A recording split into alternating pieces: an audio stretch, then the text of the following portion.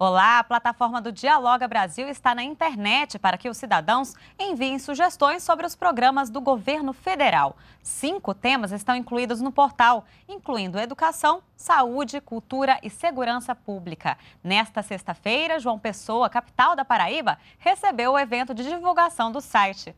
A presidenta Dilma Rousseff e vários ministros participaram desse bate-papo e ouviram as sugestões dos paraibanos para melhorar as políticas públicas. Veja como foi. O governador do estado da Paraíba, Ricardo Coutinho, e a nossa presidenta da República, Dilma Rousseff, agora sim.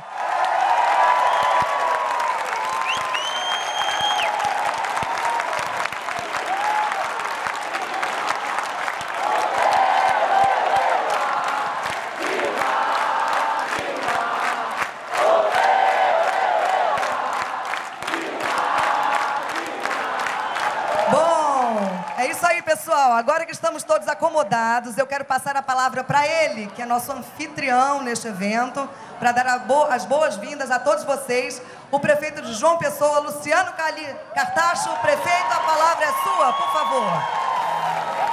Boa tarde. Meu boa tarde aos companheiros e companheiras.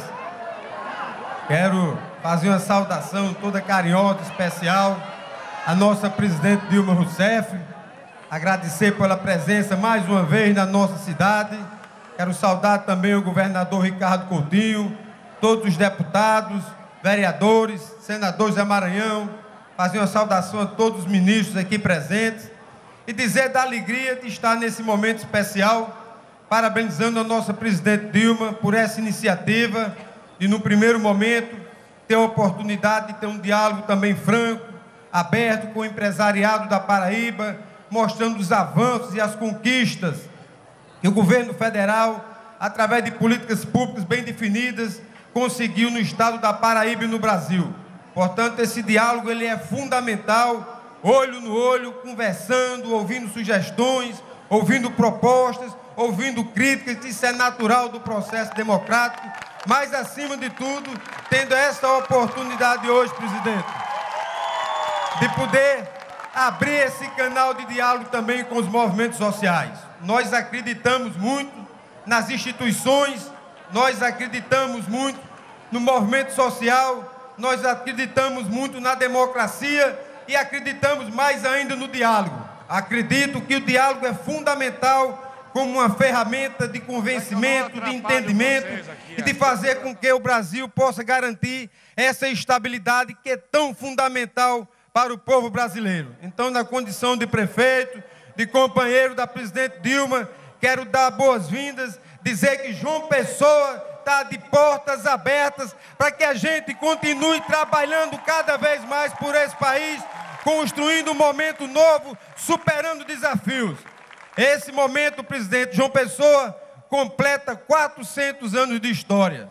Nós estamos falando agora no último 430 anos no último dia 5 de agosto. Nós estamos falando da terceira capital mais antiga desse país. Portanto, para a gente é uma alegria imensa poder tê-la aqui conosco mais uma vez, na certeza absoluta que nós vamos em frente, que o Brasil tem força e que crise foi feita para ser superada. Muito obrigado. Muito bom. Bem, como disse o prefeito, nós estamos aqui para falar de diálogo, de participação. E para isso eu quero convidar o ministro Miguel Rosseto para apresentar para nós a plataforma do Dialoga. Ministro, a palavra está com o senhor. Boa tarde a todos vocês. Presidenta Dilma Rousseff, governador Ricardo Coutinho, senador Maranhão, deputados federais, prefeito Luciano Cartacho, deputados estaduais, vereadores, prefeitos, lideranças dos movimentos sociais, lideranças empresariais que estão aqui conosco, enfim, toda essa representação extraordinária da sociedade da Paraíba que está aqui conosco. Um boa tarde a todos vocês. Por orientação da presidenta Dilma Rousseff, o diálogo organiza o nosso governo.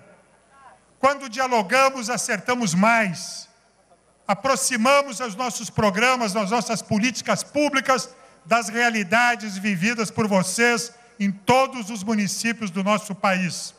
Nós temos compartilhado junto, todos nós, as grandes conferências presenciais da saúde, da segurança alimentar, da juventude e tantas conferências que têm aproximado e constituído uma marca forte do nosso governo. Assim mudamos o país e assim estamos mudando para melhor o nosso Brasil. Agora, nós temos mais uma forma de dialogar. Nós estamos apresentando aqui na Paraíba uma plataforma digital chamada dialogabrasil.gov.br. Este é o nome dessa plataforma. E o que é que nós queremos com isso?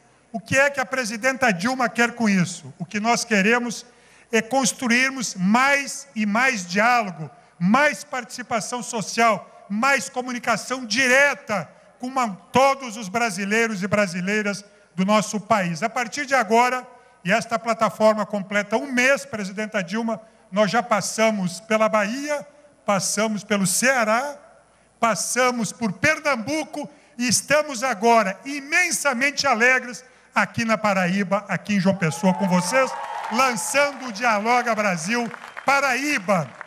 Queremos com isso, e vocês já já vão ver, escutar os nossos ministros, nesta plataforma que começou, nós temos cinco grandes temas: saúde, educação, redução da pobreza, segurança e cultura. E ali vocês vão encontrar os grandes e principais programas que organizam a ação de mudança do governo federal. O que, é que nós queremos?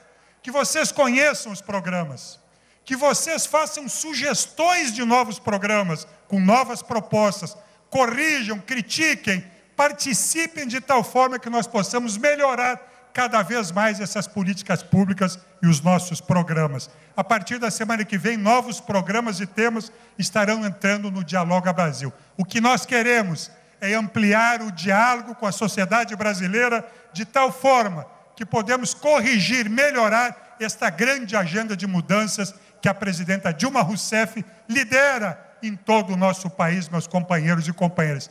Participem do Dialoga brasil.gov.br.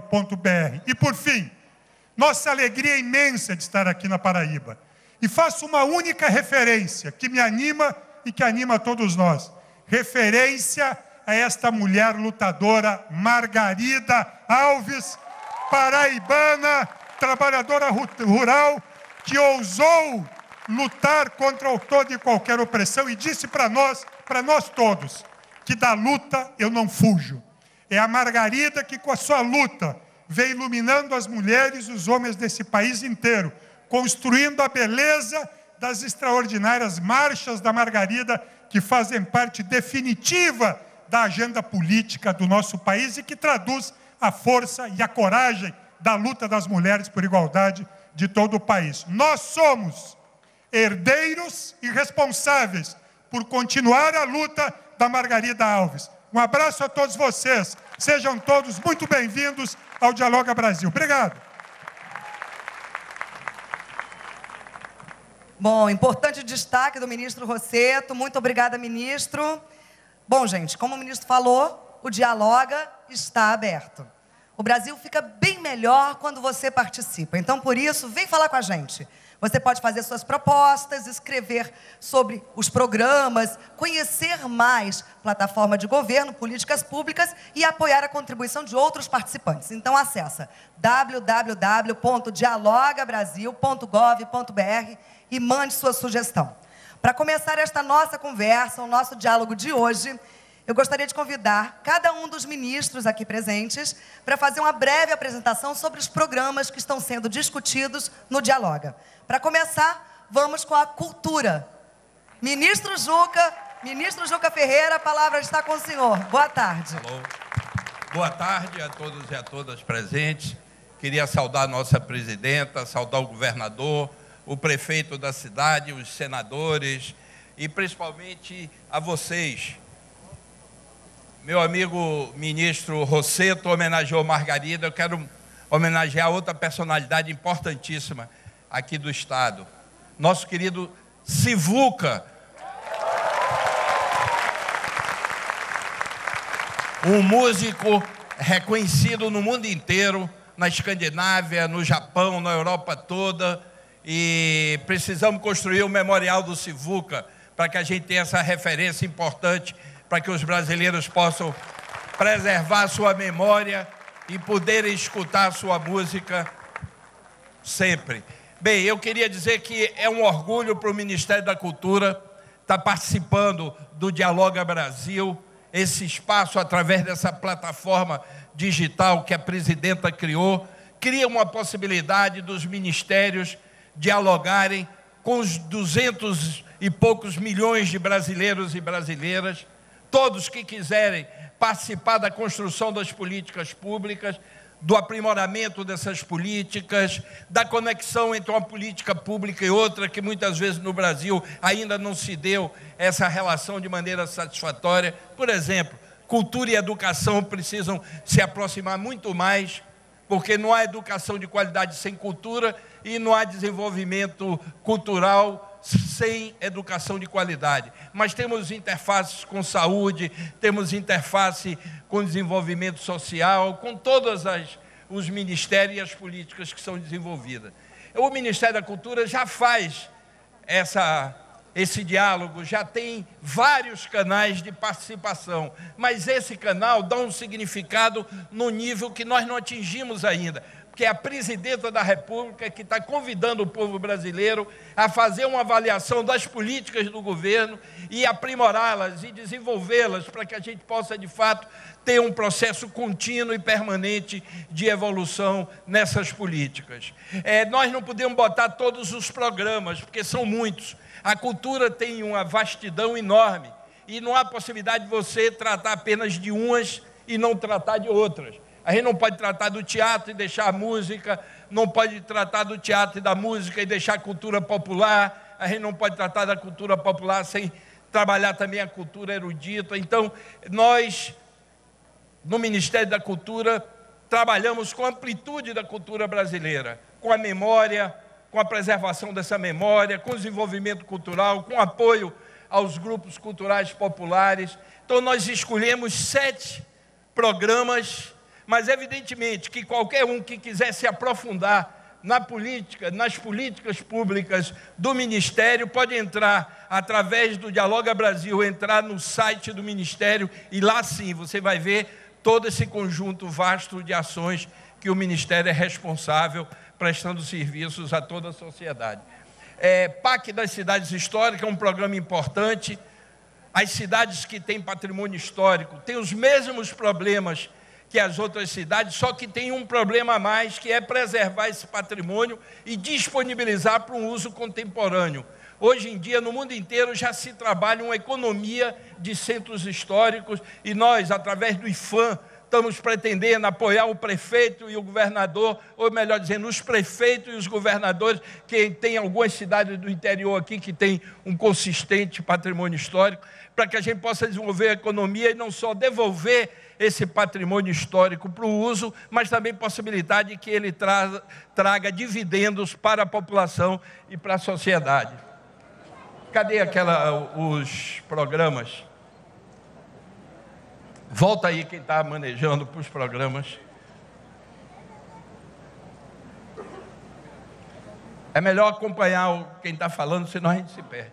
Bem, Política Nacional das Artes o Ministério, desde 2003, desde o primeiro governo Lula, e durante os quatro anos, e já a essa altura, quase cinco anos da presidenta Dilma, nós temos trabalhado exatamente essa responsabilidade do Ministério com todas as dimensões da cultura brasileira em todo o território. Mas nós percebemos que as artes, que talvez seja o epicentro de toda a dimensão simbólica do país tinha ficado um pouco para trás. Então, nós estamos de forma concentrada, através de um processo participativo, estamos atualizando as políticas para as artes no Brasil, para que a gente possa ter uma plataforma de desenvolvimento das artes brasileiras no século XXI. Cadê, queridos? É, não, precisa, não precisa passar, não, deixa só as plataformas.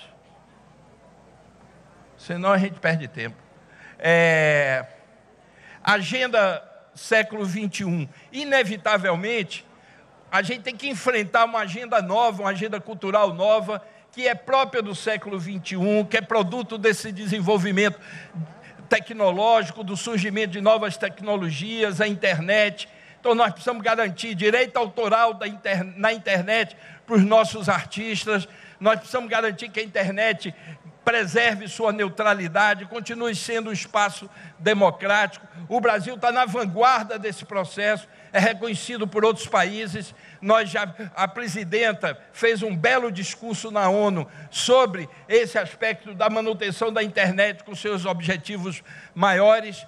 Nós já saímos com a, a, um, uma lei exatamente sobre a internet para garantir essa essa neutralidade da rede e garantir todas as dimensões positivas da internet. Isso é um espaço hoje estratégico e todos os países vão ter que se debruçar sobre isso e nós estamos construindo nossa regulação para que a internet seja absolutamente democrática e ao acesso de todo o povo brasileiro.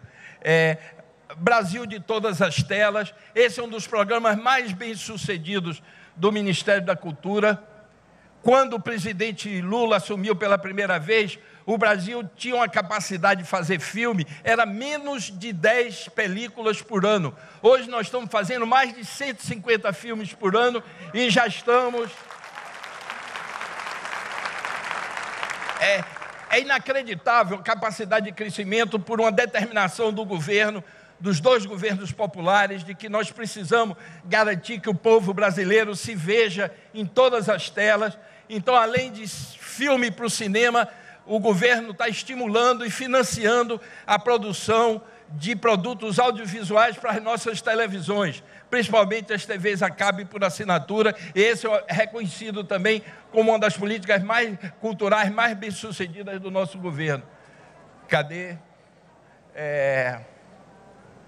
O PAC da cidade histórica, eu já falei, Vale Cultura é um instrumento de garantir a possibilidade de ampliação do acesso à cultura, é 50 reais no bolso do trabalhador, para que ele possa, de fato, ir para o cinema, comprar um livro, comprar um CD, ter acesso a uma escala maior ainda é, do processo cultural. O Brasil é um país que nós herdamos um índice absolutamente discriminatório e excludente, os índices dados pelo IBGE, pelo IPE, por exemplo, menos de 10% dos brasileiros entrou alguma vez na vida em um museu.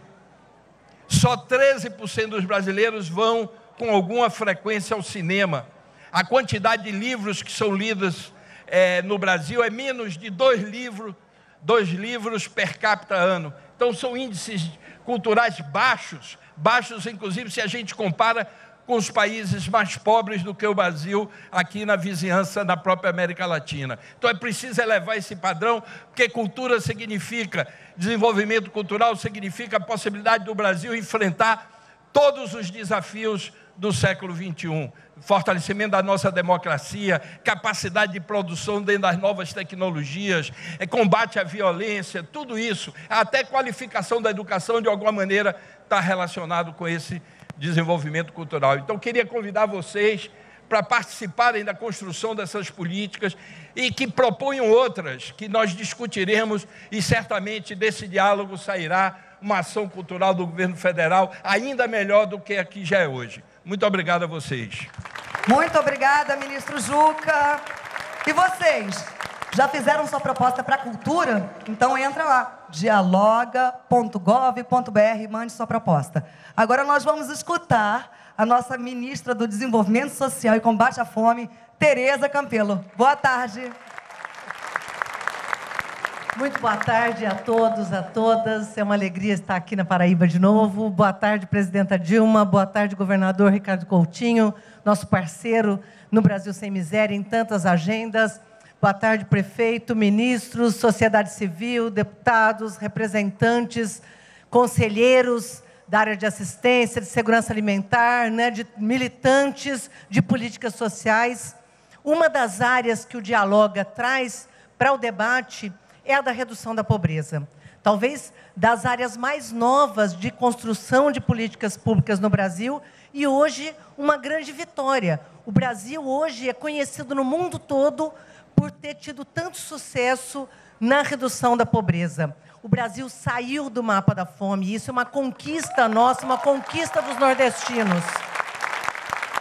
E conseguimos todas essas vitórias exatamente porque não aceitamos a ideia de que a pobreza era natural, não aceitamos a ideia de que a pobreza decorria da seca e resolvemos que tínhamos que enfrentar esse problema como um problema social. Muitas histórias, certamente, cada um de nós tem aqui para contar. Eu, é, a semana retrasada, me contava uma, uma, uma professora que trabalhou aqui na Paraíba na década de 80 com desnutrição, governador dizendo o seguinte: que ela trabalhava atendendo crianças e que, no meio dos atendimentos, o sino tocava e eles sabiam que tinha morrido uma criança, porque quando morre uma criança, o sino toca diferente. E às vezes tocava uma vez, tocava duas, tocava três, tocava, tocava quatro, e eles entravam em desespero porque sabiam que as crianças estavam morrendo. Esse é o Brasil que nós deixamos para trás. Nossas crianças deixaram de morrer. Certo? E, e deixamos para trás exatamente por ter construído, termos construído políticas públicas. Uma dessas políticas é ter construído o nosso SUAS, né, Cida? Ter construído uma rede de assistência que tem capilaridade chega no, em todos os pequenos municípios, levando para a população mais pobre não só assistência social, mas Pronatec, oportunidades, acesso a várias outras políticas públicas. E uma dessas políticas é o Bolsa Família, talvez uma das mais conhecidas. O Bolsa Família também é uma vitória nossa. Hoje nós chegamos a 14 milhões de famílias no Brasil. São 500 mil famílias aqui na Paraíba, quase 500 mil famílias que nós atendemos aqui na Paraíba. E tem muita gente que acha que é só renda. Ah, está dando renda, as pessoas deixam de trabalhar. Não é verdade. São 170 reais em média que as pessoas recebem mas a grande vitória não é só ter esse recurso que apoia essas famílias para aliviar a pobreza, para conseguir comprar um alimento para os seus filhos, um calçado, uma roupa. O Bolsa Família levou as crianças para a escola. Nós temos aqui na Paraíba 470 mil crianças entre 6 e 17 anos de idade na escola, fora do trabalho infantil, fora da rua, graças a essa ação e essa política articulada pela assistência social, que é o Bolsa Família. Nós temos 360 mil famílias que são atendidas na rede de saúde, gestantes e crianças. E graças a essas políticas é que nós temos essa vitória de poder dizer estamos superando a desnutrição infantil. Nós temos uma vitória que é 60% das crianças do Bolsa Família que morriam antes não morrem hoje. É redução de 60% da mortalidade infantil graças ao Bolsa Família. E um outro índice, que é um índice caro para nós nordestinos, que é nós conseguimos reduzir o déficit de altura que as nossas crianças tinham. Tinha muita gente que dizia: não, os nordestinos são mais baixos, os homens gabirus. Isso é passado também. Nós podemos comemorar hoje uma redução de 51% do déficit de altura das nossas crianças. E estamos construindo um novo país. Hoje podemos dizer nós já temos a primeira geração de crianças livre da fome e na escola, e essa é uma vitória nossa. O nosso povo quer oportunidades. Eu vou falar de duas oportunidades rapidamente, que as pessoas não querem se encostar no Bolsa Família, e não é isso que nós estamos vendo.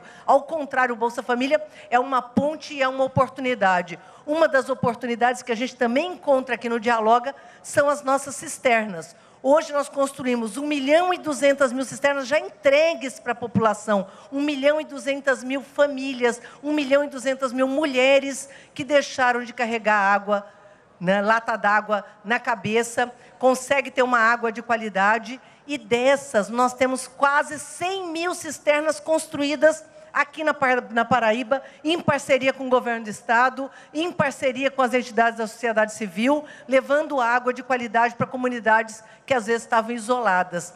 E parte dessas histórias é uma história também de construção com vocês. As cisternas foi uma ideia da sociedade civil, uma tecnologia social que foi incorporada pelo setor público numa agenda não de combate à seca, porque não se combate a seca, nós queremos conviver com o semiárido, e é essa agenda que nós estamos construindo aqui no Nordeste com o nosso sertanejo. E aqui na Paraíba nós temos uma, uma experiência, como também uma experiência que está sendo incorporada pelo governo, que são as nossas sementes da paixão, que são as sementes crioulas, que são as sementes rústicas, que são as sementes que trazem tudo. Se fosse né, uma coisa chique, vamos falar, um banco de germoplasma. Não, nós estamos construindo os nossos bancos de semente comunitárias. São 640 bancos de semente comunitária que estão sendo construídos no Nordeste, nesses 64 aqui na Paraíba,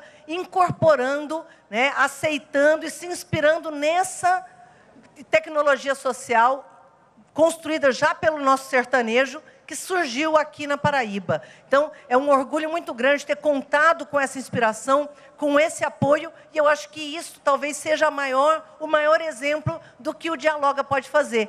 Melhorar, aprimorar as políticas públicas, como a gente fez com as cisternas e com as sementes da paixão. Muito obrigado. Muito obrigada, ministra. E agora vamos falar um pouquinho sobre educação. Ministro. Opa! Só eu passo o microfone para o senhor. Boa tarde. Boa tarde, Catarina. Boa tarde, boa tarde a todos. Presidenta Dilma, governador Ricardo, ministros, população, movimentos sociais. Quero cumprimentar todos e quero aproveitar que estou na Paraíba, Paraíba que tem na bandeira a recusa, o nego, a recusa à fraude, a recusa à corrupção da República Velha. O Estado foi um dos primeiros a se levantar contra aquele regime níquo e a começar essa revolução de 1930 que mudou o país, que aprimorou o país, que mudou a forma de eleição, que mudou a forma de inclusão dos trabalhadores. Quero aproveitar isso para lembrar também que esse foi um, um Estado que fez um excelente trabalho, governador Ricardo, no plano estadual de educação. Vocês sancionaram o Plano Estadual de Educação exatamente no primeiro aniversário do dia em que a presidenta tinha assinado o Plano Nacional de Educação. Foram até um pouco adiante do prazo, porque naquele dia devia estar elaborado, aqui vocês já tinham lei. Em vez de ter um projeto, que era o que a lei federal exigia, vocês tinham lei. E o projeto, o Plano Nacional de Educação é importante porque não é federal. Ele não é uma lei federal elaborada à revelia da sociedade. Ele é o resultado de grandes discussões, foi votado no Congresso por unanimidade, foi sancionado pela presidenta sem vetos na integralidade, e ele define projetos, 20 metas que são ambiciosas, são audazes, são difíceis, mas que mostram justamente que a sociedade brasileira, pela primeira vez, decidiu ir longe na educação. Pois bem, o que fez a Paraíba? Ela foi também além. Ela colocou metas de diversidade, ela colocou metas, metas de educação indígena, educação do campo, educação étnica. Tudo isso daí está muito bem no, na lei da Paraíba que o governador Ricardo sancionou e também está nas 223 leis municipais. Acertei o número, Ricardo? É isso mesmo? São 223 planos municipais de educação que foram todos sancionados dentro do prazo e que todos estão alinhados com essa visão de progresso. É bom dizer, o plano de educação é um desenho do futuro. Ele mostra uma sociedade comprometida com a educação como algo para melhorar. E é bom então expor um pouco o que o governo federal fez nessa direção.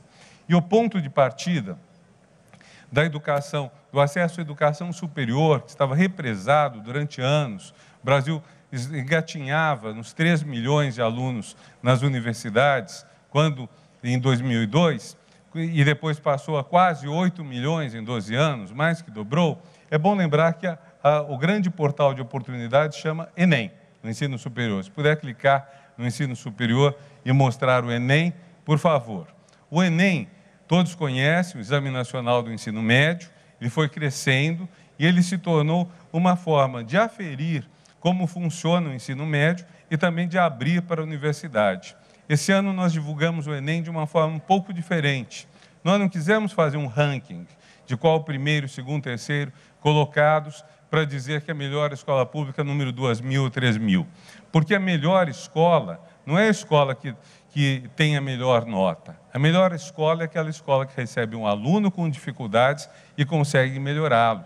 E as dificuldades estão em boa parte ligadas ao índice socioeconômico. Ou seja, os alunos que vem do ambiente mais rico, já tem uma vantagem. Tanto que a média da nota de quem vem de um nível socioeconômico muito alto é 611 no Enem. E a média de quem vem de um nível socioeconômico muito baixo é 429.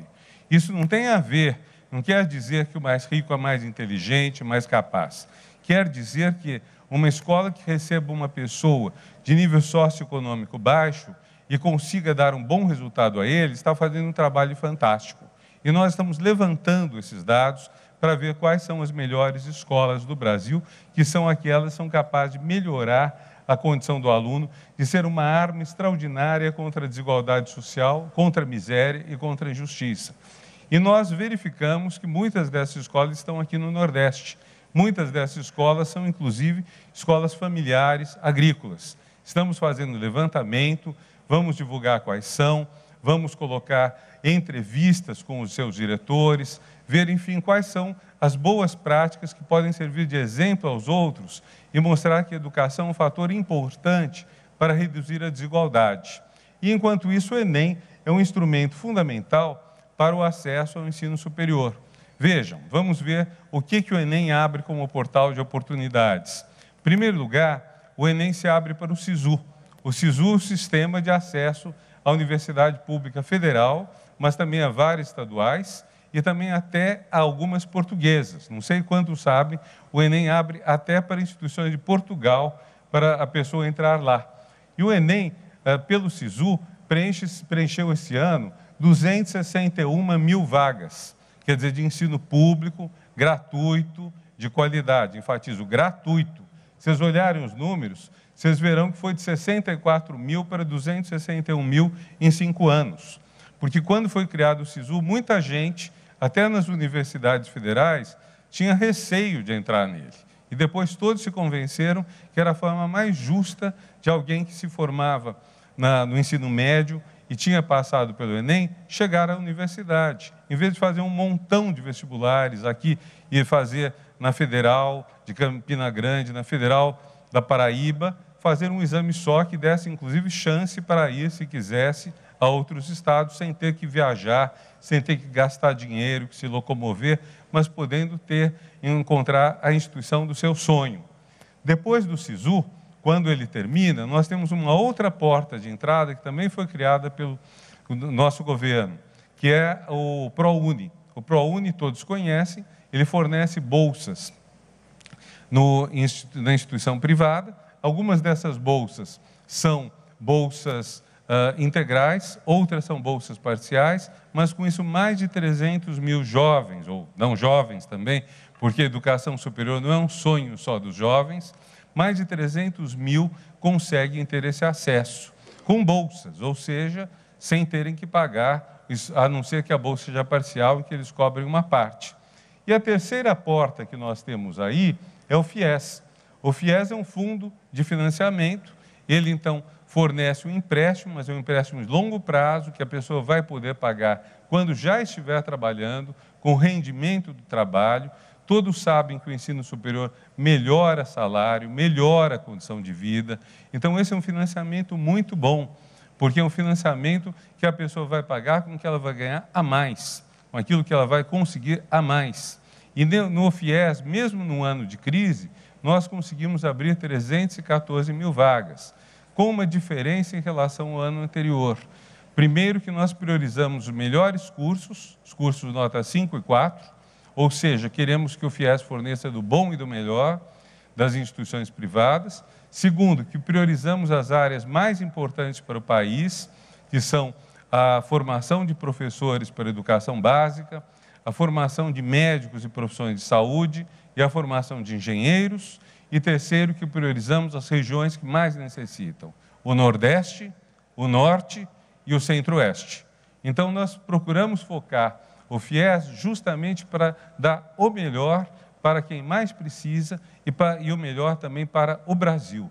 Mostrar que os programas melhores não são aqueles que beneficiam apenas pessoas isoladas, mas que beneficiam o país também, com melhores professores, melhores engenheiros, melhores profissionais da saúde. E no FIES nós tivemos 314 mil vagas este ano, totalizando entre SISU FIES e ProUni 906 mil vagas. Tem uma ideia do que isso é no ensino superior? Tem uma ideia de que isso é 45% de quem entra no ensino superior em cada ano. 45% dos primeiro anistas de universidade vem de programas federais. Se não fossem esses, nós teríamos um milhão e pouco entrando por ano. Graças a, a esses três programas, temos dois milhões. Se não tivéssemos esses programas, não teríamos quase 8 milhões de alunos do ensino superior. Teríamos pouco mais da metade. Então, a União, pelos seus programas, se empenha muito para ampliar o ensino superior e dar oportunidade a quem precisa, a quem quer, a transformar o seu sonho em realidade e fazer que seu sonho seja coletivo, não só para o seu bem, mas para o bem da sociedade. E, para não esquecer, também há um outro espaço que é o SISUTEC. O SISUTEC é um SISU, mas um SISU para educação técnica. Então, o ensino médio. Mas isso quer dizer que no, quem termina o Enem também pode ter 70 mil vagas a seu dispor para ser, fazer ensino técnico, que é um ensino de nível médio, mas já profissionalizante. Quase um milhão de pessoas que se abrem pelo Enem. Por isso que o Enem é tão importante. Por isso que o Enem acaba sendo um grande momento no ano que as pessoas acompanham com entusiasmo, com nervosismo. E eu só quero lembrar uma coisa, gente: ninguém que vai prestar o Enem chegue atrasado no portão.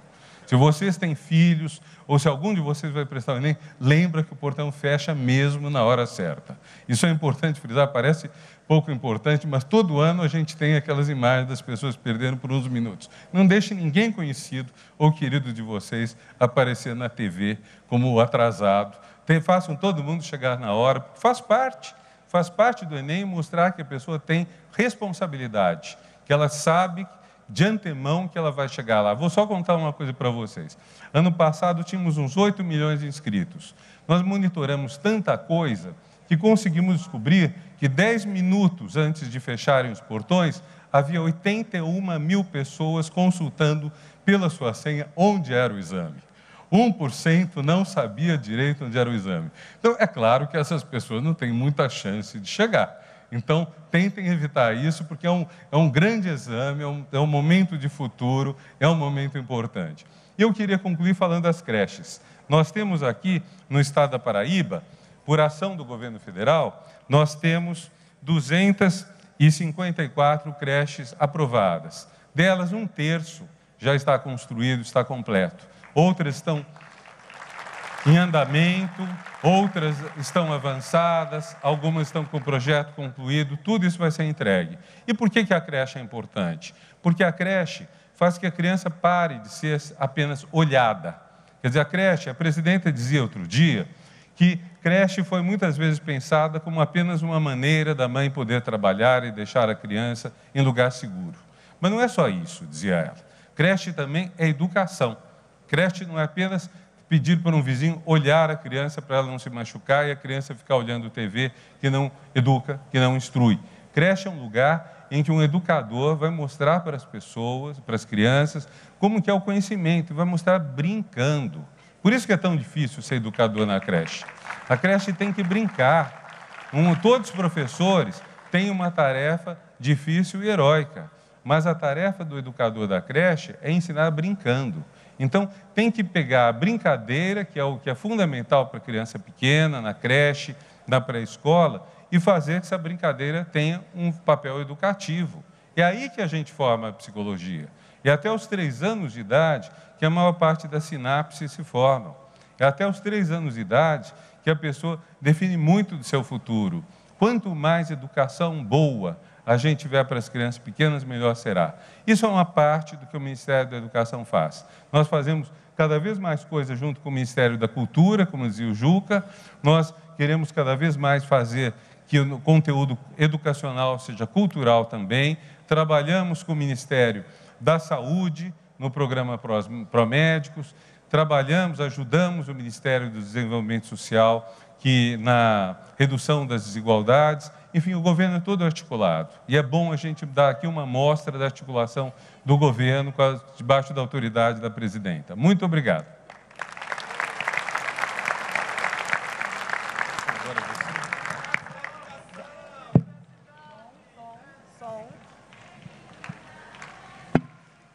Muito obrigada. esclarecimentos sobre educação. E tem música, música local sendo cantada aqui. É isso aí. Vamos continuar o debate ouvindo mais sobre justiça. Ministro José Eduardo Cardoso, a palavra está com o senhor. Muito boa tarde. Bom, boa tarde, pessoal. Boa tarde para todos vocês, para todas vocês. Boa tarde, presidenta. Boa tarde, governador, prefeito, ministro. Quero dizer para vocês, especial presidente, que eu, eu me sinto em casa aqui em João Pessoa e na Paraíba. E tem uma razão para isso. Em 2013, em 2013, eu tive a honra de receber da Câmara Municipal de João Pessoa o título de cidadão pessoense. Então, portanto, estou na minha casa aqui falando com meus conterrâneos. E a senhora, sou cidadão pessoense, é. E a senhora não se assusta se um dia eu sair de Brasília fininho, vier morar aqui, porque eu tenho um terreninho lá em Tambaba, né? Não é na parte do nudismo, não, é do outro lado ali, ó. Mas eu quero dizer para vocês que eu vim falar de uma coisa muito séria, que é segurança pública. Eu acho que todos nós temos clareza de que nós temos que melhorar a segurança pública no país. Infelizmente, o Brasil é um dos países mais violentos do mundo. Em número de homicídios absolutos, nós somos o que tem mais violência. Praticamente nenhum Estado brasileiro está dentro dos padrões internacionais de aceitação de violência. Nós estamos muito acima. E apesar de muito esforço que vem sendo feito por alguns governadores, dentre os quais destaco aqui o Ricardo Coutinho, que tem diminuído ao longo da sua gestão os homicídios, nós ainda temos um padrão muito elevado. O que fazer com a segurança pública do país? Eu quero propor para vocês uma discussão sobre quatro programas, perdão, cinco programas do Ministério da Justiça. Cinco programas, tem mais, mas eu quero falar de cinco para que a gente possa debater no diálogo. Primeiro programa: Pacto Nacional pela Redução de Homicídios. Nós temos que fazer um esforço de todos, do governo federal, do governo estadual, das prefeituras, da sociedade civil, todos, para reduzir homicídios. É muito comum a gente tentar culpar os governos do Estado pela violência, porque pela Constituição a competência de segurança pública, na sua maior parte, é dos estados. Mas ninguém pode se eximir dessas responsabilidades. Nós temos que estar juntos, temos que ser parceiros. Por isso a gente quer fazer um pacto nacional de redução de homicídios que reduza 5% em média por ano em todo o território nacional. Como é que a gente vai fazer isso? Primeiro, com estudos. Estudando as causas em cada região violenta do que gera o homicídio. Nós já sabemos que a maior parte dos homicídios do Brasil estão concentradas em 81 municípios, incluindo todas as capitais brasileiras. Nós vamos concentrar nossas ações lá. Vamos colocar especialistas estudando as causas, em conjunto com os estados e com os municípios. E vamos envolver políticas de segurança pública com políticas sociais. Nós vamos juntos, com esforços integrados, fazer com que as polícias trabalhem juntos em centros integrados de comando e controle, que todos os estados terão ao longo do governo da presidenta Dilma Rousseff.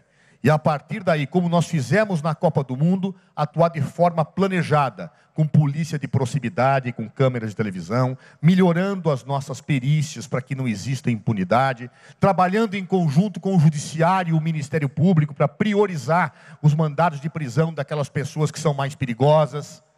Em síntese, nós vamos fazer um grande pacto para reduzir os homicídios. E queremos muito ouvir a opinião de vocês também em relação às sugestões do que podem ser feitos nesse plano, que vai ser muito importante para o Brasil. Segundo programa que eu quero falar: melhoria do nosso sistema prisional. Não dá para continuar do jeito que nós estamos. Infelizmente, há exceções, mas a maior parte dos presídios brasileiros são verdadeiras escolas de criminalidade. Às vezes, algumas pessoas entram presas tendo praticado pequenos delitos e saem lá membros do crime organizado. E ainda tem gente que quer reduzir a maioridade penal, colocando jovens nesses estabelecimentos, colocando jovens nessas escolas de criminalidade, colocando jovens para não serem recuperados. Portanto, nós temos que estar juntos, em primeiro lugar, para impedir a redução da maioridade penal. E a gente tem que estar juntos lutando por isso, para que realmente a situação não piore mais. Mas além disso, além de construir mais unidades prisionais, e o governo federal tem um programa em curso que investe a maior soma da história na construção de unidades prisionais em apoio aos estados, nós estamos investindo 1 bilhão e 100 milhões de reais nessas construções, nós temos também que encontrar outras formas de cumprimento de pena. Porque o Brasil, ele prende mal. Pessoa que tem que estar presa, às vezes está solta. E pessoa que está, às vezes, que pode perfeitamente cumprir outras formas de pena, está em outra situação. Ou seja, tem gente que devia estar preso, está solto. Tem gente que está solto, devia estar preso. Então nós temos que fazer o quê? Além de construir unidades prisionais, nós temos que desenvolver outras formas de cumprimento de pena. Por exemplo, monitoração eletrônica. Às vezes a pessoa não precisa estar presa para ser cooptada pelo crime organizado. Bota lá aquela, aquele controlezinho, aquela tornozeleira na perna, e você controla, e o indivíduo cumpre pena. Isso sai mais barato e é mais eficiente para a recuperação da pessoa. Nós vamos investir nisso. Nós vamos investir também em penas alternativas. Esse é o programa que está colocado e que vocês vão participar debatendo também. Terceiro ponto que eu quero falar para vocês: programa de fronteiras. É difícil fiscalizar a fronteira no Brasil. Nós temos 16 mil quilômetros de fronteira terrestre, mais ou menos. 8 mil quilômetros de fronteira marítima, também mais ou menos. Controlar isso não é fácil. Então o que, que nós estamos fazendo? Estamos investindo em tecnologia na fronteira, estamos apoiando os estados de fronteira, mas nós vamos trabalhar também com a ideia de fronteira dos estados, fazendo com que os estados, de forma integrada, controlem também as suas fronteiras em apoio ao nosso plano que hoje a gente desenvolve em conjunto com as Forças Armadas, Ministério da Justiça e Ministério da Defesa. Nós já fizemos algumas operações integradas, o governador sabe disso, os estados do Nordeste trabalhando com as suas polícias de maneira integrada. Né? Para quê?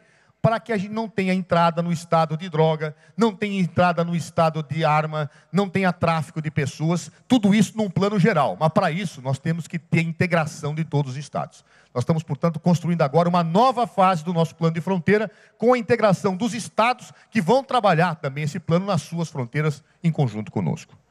Quarto programa que eu quero falar, o Sinesp. Ninguém combate crime se não souber onde ele acontece. Nós temos que saber onde ele acontece e a causa do porquê acontece. Até 2012, o Brasil não tinha um sistema de captar informações sobre o crime. Através de um projeto de lei encaminhado pela presidenta Dilma Rousseff e criado pelo Congresso Nacional, nós criamos o Sistema Integrado de Estatística em Segurança Pública, o SINESP. O SINESP, ele recolhe dos estados as informações sobre crime e permite aos especialistas, a nós, ao governador, diagnosticar onde eles estão acontecendo em tempo real. Até o final desse ano, ele vai estar funcionando a todo vapor.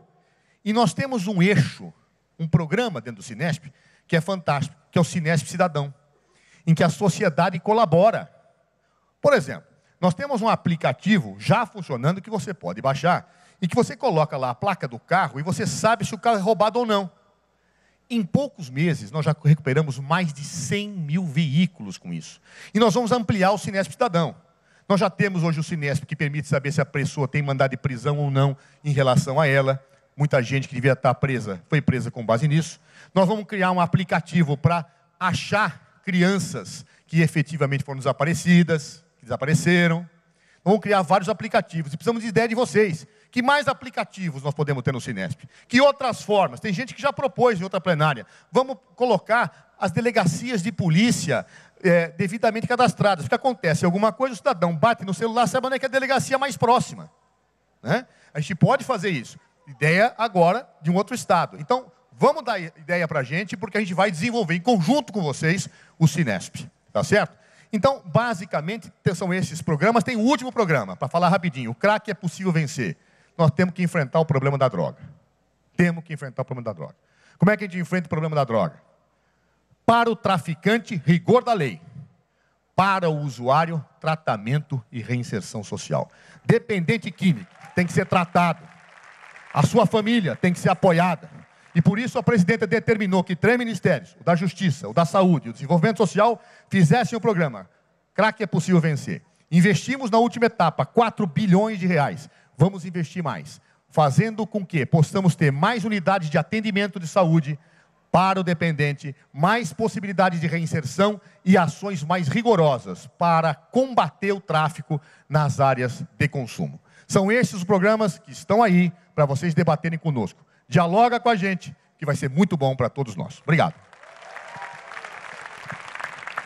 Muito obrigada, ministro.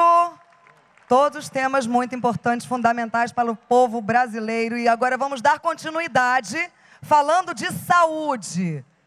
Ministro Quioro, a palavra está com o senhor. Vamos ouvir o ministro Quioro. Boa tarde a todos, boa tarde a todas. É um prazer imenso estar aqui na Paraíba, mais uma vez, agora fazendo esse diálogo, diálogo com o Brasil. Eu quero saudar a presidenta, o nosso governador, o nosso prefeito Luciano Catacho, os nossos deputados, senadores, meus colegas ministros, mas acima de tudo, cada um de vocês que estão aqui com a gente, vivendo esse momento. Para nós da saúde, é um momento muito rico, porque nós estamos vivendo a Conferência Nacional de Saúde, a 15ª conferência que vai ser no final do ano. Aqui na Paraíba, 100% dos municípios já fizeram as conferências municipais. Nós teremos daqui a duas semanas a realização da conferência estadual e vamos desenvolvendo um amplo processo de debate com a sociedade. Só que o Dialoga Brasil nos permite a participação de muitos brasileiros e brasileiras que de casa, do seu computador, do seu celular, podem dar ideias, podem contribuir, fazer críticas, sugestões sobre como melhorar a saúde, como melhorar o nosso país.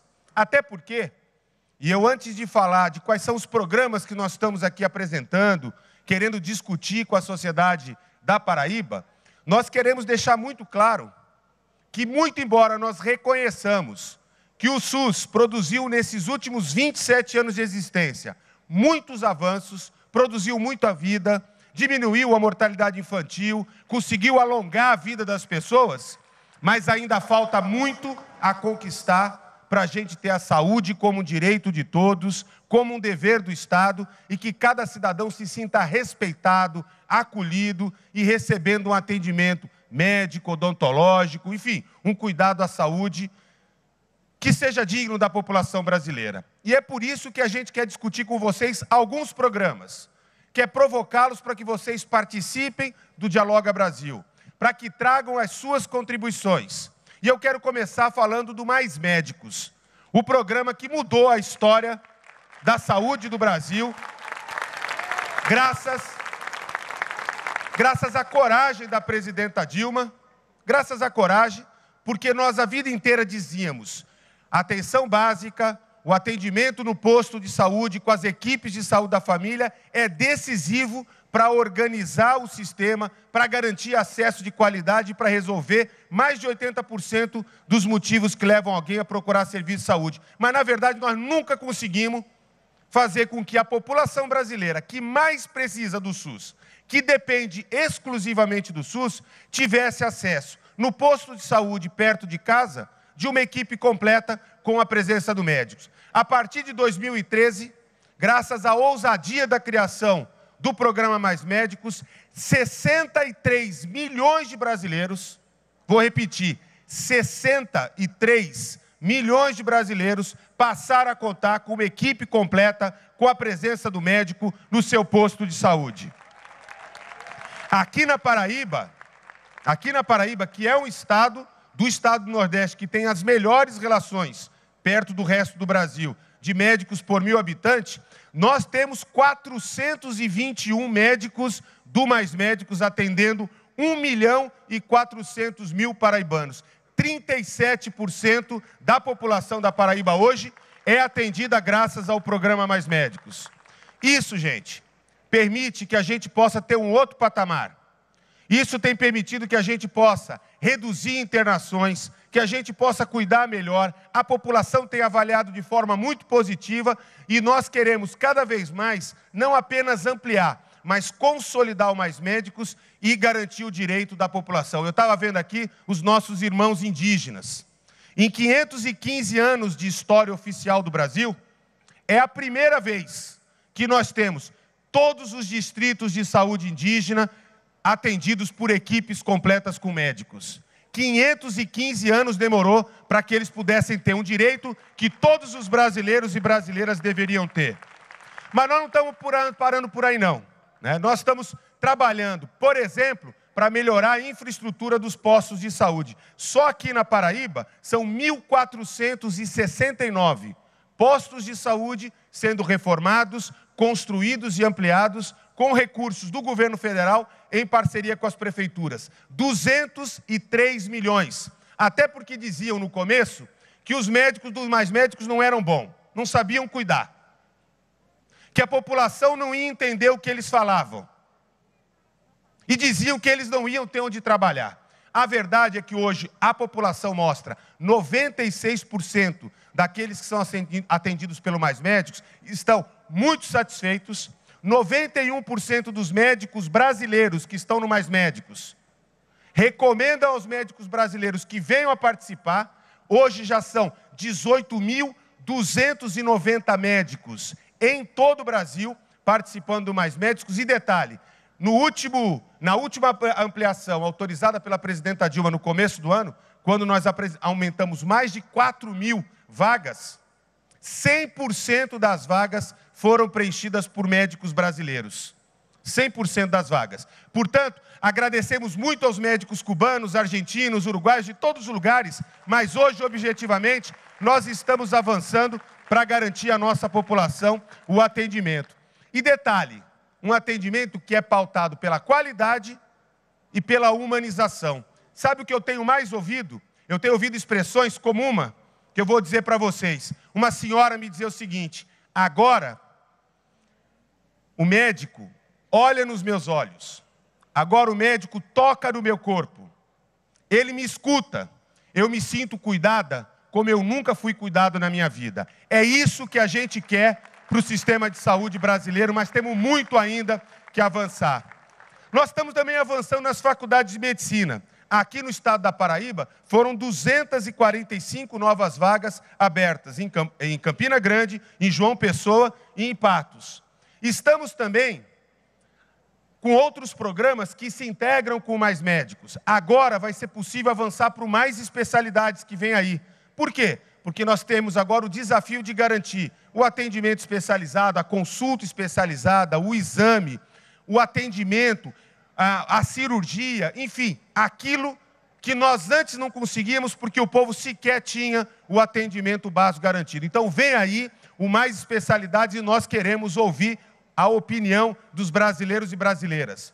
Nós queremos também consolidar o SAMU, que virou uma realidade em todo o país praticamente. Hoje, 150, mais de 150 milhões de brasileiros contam com o SAMU já no seu, na sua cidade, no seu estado, na sua região e aqui na Paraíba, 100% de cobertura do SAMU. São sete centrais de regulação, 167 ambulâncias e 15 motos, que junto com a rede de UPAs, serão 28 UPAs de 10 já funcionando, no investimento de 52 milhões de reais do governo federal, vão preparar essa rede de urgência para atender de forma integrada, com as unidades de urgência, com os demais serviços que estão organizados com as prefeituras e com o governo do estado e os serviços filantrópicos aqui da Paraíba. Eu quero falar só rapidamente de mais dois programas. Um deles que é muito importante, até pegando aqui a profissão de origem do governador, do prefeito, de muita gente, que é a assistência farmacêutica. Nós sabemos o quanto que é importante o medicamento feito de forma segura, de forma orientada, para que nós possamos cuidar integralmente da população. Nós ampliamos muito a lista de medicamentos distribuídos gratuitamente no SUS. E hoje contamos aqui na Paraíba com uma rede, além dos serviços do SUS, de 585 farmácias credenciadas do programa Aqui Tem Farmácia, com medicamentos para hipertensão, para diabetes, para asma distribuídos gratuitamente, inclusive para as pessoas que têm plano de saúde e que não têm o dinheiro para comprar o medicamento e que, portanto, não teriam condições de tratar-se de maneira integral como precisa ser tratado. Mas eu quero terminar chamando a atenção, porque no Dialoga nós também queremos conversar não apenas sobre a rede que cuida, que trata, que diagnostica e que trata das doenças. Nós queremos falar também de prevenção e de mudança do modelo de cuidado no Brasil. E eu quero usar dois exemplos que nós temos conversado muito com a Roberta, a secretária de Estado, com as equipes das secretarias municipais e com o próprio governador. O primeiro deles é o atendimento às mulheres. Nós estamos vivendo no Brasil uma epidemia de cesarianas. Ela é muito mais forte nos lugares onde a população depende mais dos serviços privados. Nos serviços privados, 84% dos nascimentos já não são mais parto normal, são parto cesariana. E aqui na Paraíba, em que os nascimentos são fundamentalmente feitos pelo SUS, tem um dado preocupante. 54%, aliás, 58% dos nascimentos já são de cesariana. Quando a Organização Mundial de Saúde preconiza 15%. Não se trata de demonizar a cesárea. A cesariana bem indicada salva vida. Mas é preciso garantir os direitos do atendimento integral à saúde da mulher. E não pode fazer com que a comodidade dos serviços, dos profissionais, faça o que a gente enfrente, o que nós estamos vendo aqui na Paraíba que é ano após ano a mortalidade materna está crescendo. A necessidade de UTI para prematuros está crescendo. E a mortalidade infantil não desce mais, porque nós vamos precisar enfrentar esse problema. E eu quero terminar com um segundo grande desafio, que eu já conversei muito com o governador e que, inclusive, se articula com aquilo que o nosso ministro Zé Eduardo estava falando, que é o enfrentamento da violência. Até porque o governador me dizia outro dia que boa parte dos homicídios são cometidos por pessoas usando motocicleta, que são os acidentes de moto. Nós inauguramos há duas semanas uma grande ampliação no hospital de urgência da cidade, aqui. Mas nós vamos continuar aumentando o leito de UTI, leito de urgência, ambulância do SAMU até quando? Ou vamos enfrentar os acidentes de moto que estão matando os paraibanos de maneira absurdamente importante? No ano passado, foram 355, a maior parte jovens, mortes por acidente de moto aqui no estado. Imagine a quantidade de pessoas que ficaram internadas, sequeladas, com deficiências para o resto da vida, quanto sofrimento dos pais, das famílias, das crianças, assim por diante. Portanto, nós estamos enfrentando um problema de saúde pública que tem impacto sobre a saúde, mas exige um grande debate da sociedade. Nós queremos convocar os paraibanos para vir para o Dialoga Brasil, falar sobre isso, falar sobre a epidemia da obesidade, né, Tereza?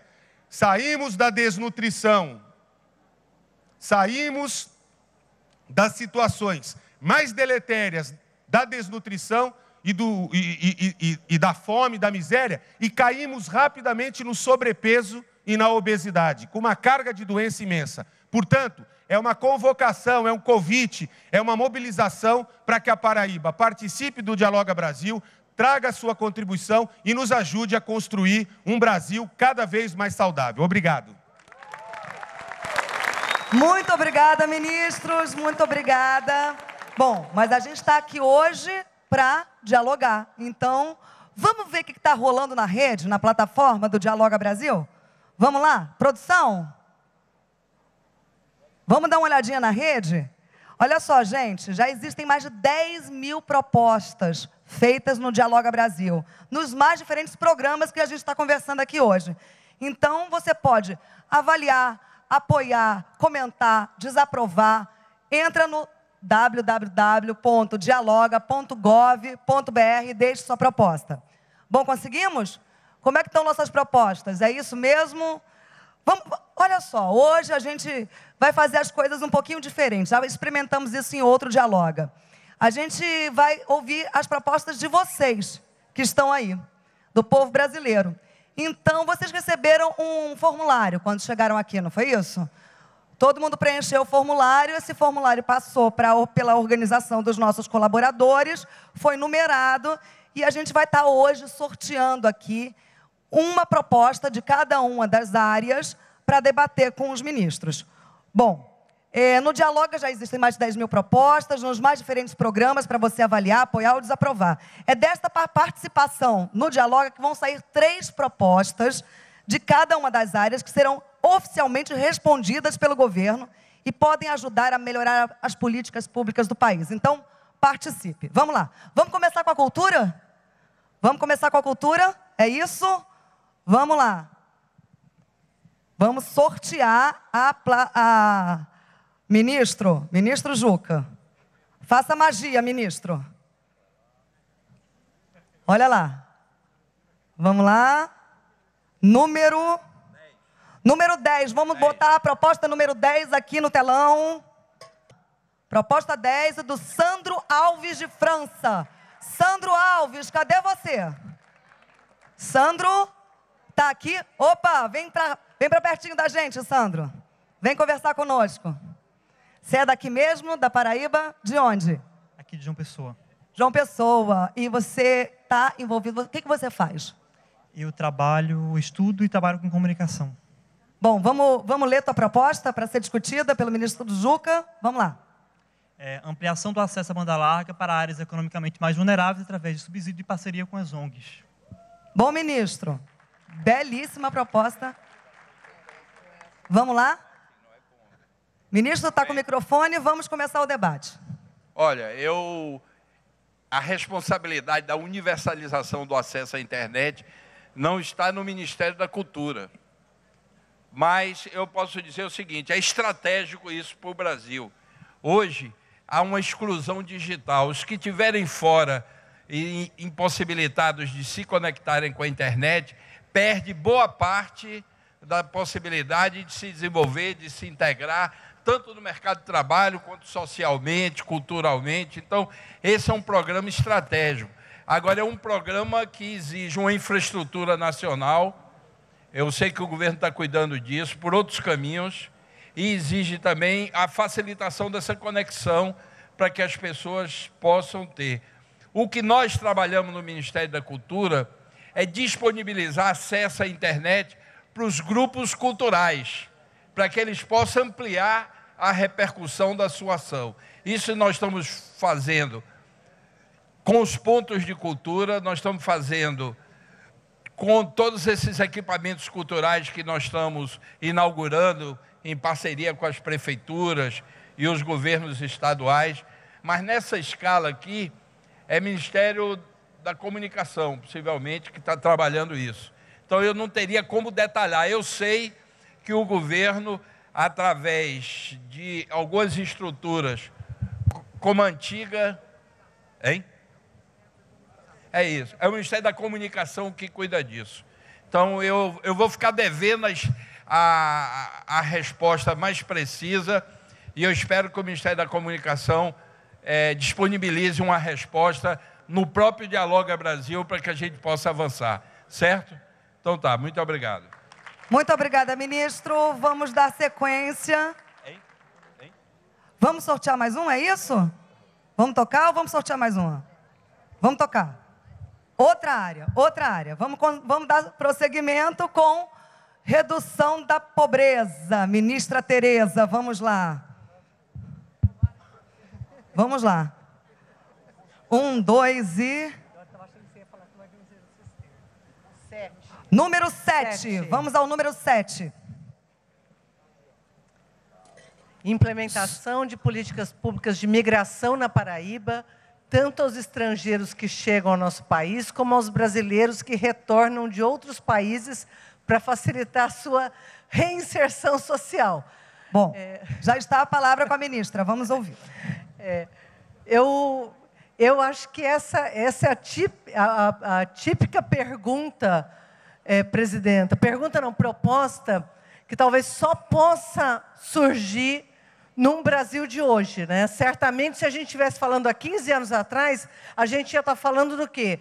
De nordestinos que estariam saindo, abandonando a sua terra, abandonando sua propriedade, desesperados por causa da fome, por causa da sede. E hoje nós vemos a situação exatamente inversa. Primeiro, o nosso povo retornando, não existe êxodo, o povo, mesmo sofrendo com uma seca que já está no seu quarto ano, fica na terra, se mantém na sua terra, graças a um conjunto de políticas, ampliação do PRONAF, ao Seguro Safra, ao Bolsa Estiagem, às nossas cisternas, ao Bolsa Família. Quer dizer, nós estamos falando de um novo Brasil e não aquele onde as pessoas eram obrigadas a abandonar a terra, invadir as capitais do Nordeste e ir para o Sudeste. E hoje a gente vive um fenômeno novo no Brasil, acho que é um grande desafio, que é o povo retornando para o Nordeste, quem saiu do país retornando para o Brasil. Hoje eu sei que João Pessoa é uma cidade que atrai muita gente que vem morar aqui, porque é uma cidade não só pacífica, maravilhosa, né? então muita gente se aposenta e vem morar aqui.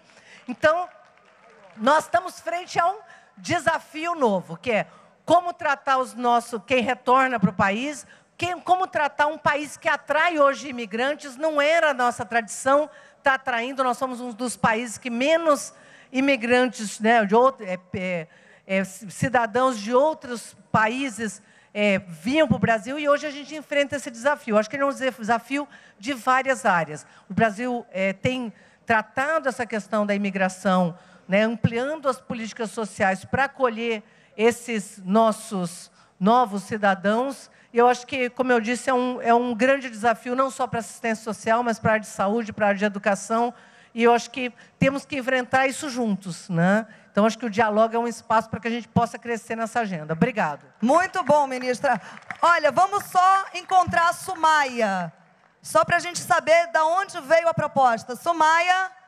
Olá, Sumaia. Respondido, viu? Muito prazer, muito obrigada pela sua participação. Muito obrigada. Vamos dar sequência agora, falando sobre educação. Ministro Janine, vamos lá. E. Tararam, número 41. 41. Chama. Gerson José do Nascimento Neto, cadê você? Gerson está aqui presente. Gerson, é você aí atrás que está levantando a mão? Sério? Sério ou não? Bom, já que o Gerson não está aqui, lemos nós a proposta do Gerson. Concursos públicos para intérpretes de Libras. Está com o senhor, ministro. Tá, a palavra. Obrigado, Catarina. Bom, Libras é uma coisa tão importante que nós temos aqui um intérprete. Nós temos alguém que está traduzindo tudo que eu estou dizendo. E se vocês fossem 10, 15 anos atrás, vocês não teriam, em todo evento público importante, alguém, e às vezes alguém, porque é um trabalho que puxa muito, ela ficar duas horas seguidas traduzindo isso é demais. Então, geralmente você tem que trocar a pessoa. 10, 15 anos atrás, isso não era hábito. Não era hábito que toda vez que você tivesse um evento público, tivesse uma tradução. Não era hábito vocês verem um jornal, um noticiário e ter alguém que faz a versão em Libras. Não era hábito na televisão nós termos isto. Então, é claro que isso cresceu. Quando vocês veem a legislação sobre educação, quase toda vez se fala em formação de professores, se fala também na formação de intérpretes de Libras. Quase toda a regulação da educação hoje propõe também Libras. Por quê? Porque a parte dos nossos concidadãos, dos brasileiros e brasileiras, que não tem facilidade de escutar, ela precisa ter capacidade, ter as condições fornecidas pela sociedade para isso. O, fornece o Estado mas o Estado fornece como representante da sociedade, por quê?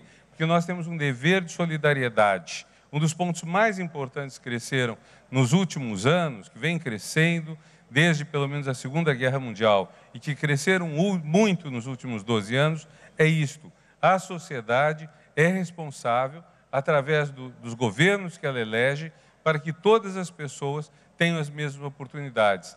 Libras é um grande exemplo disso. Então, nós temos e teremos mais concursos para Libras.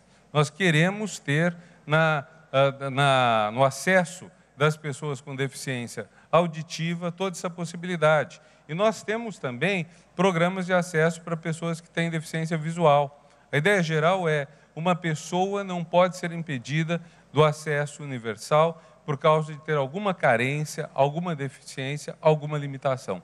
Cabe ao Estado numa sociedade democrática, garantir igualdade de oportunidades. Este é um exemplo, e é um dos exemplos, vamos dizer, mais, se não for mais audíveis, mais visíveis. Muito obrigado a você por estar traduzindo para a gente.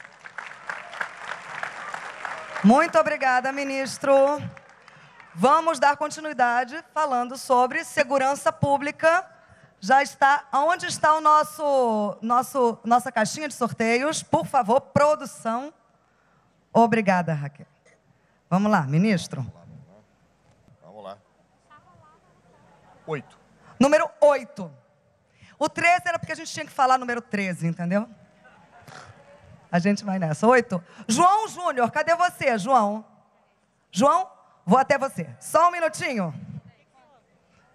Se a gente tem a oportunidade de falar, de dialogar, de participar, a gente vai até onde o povo está.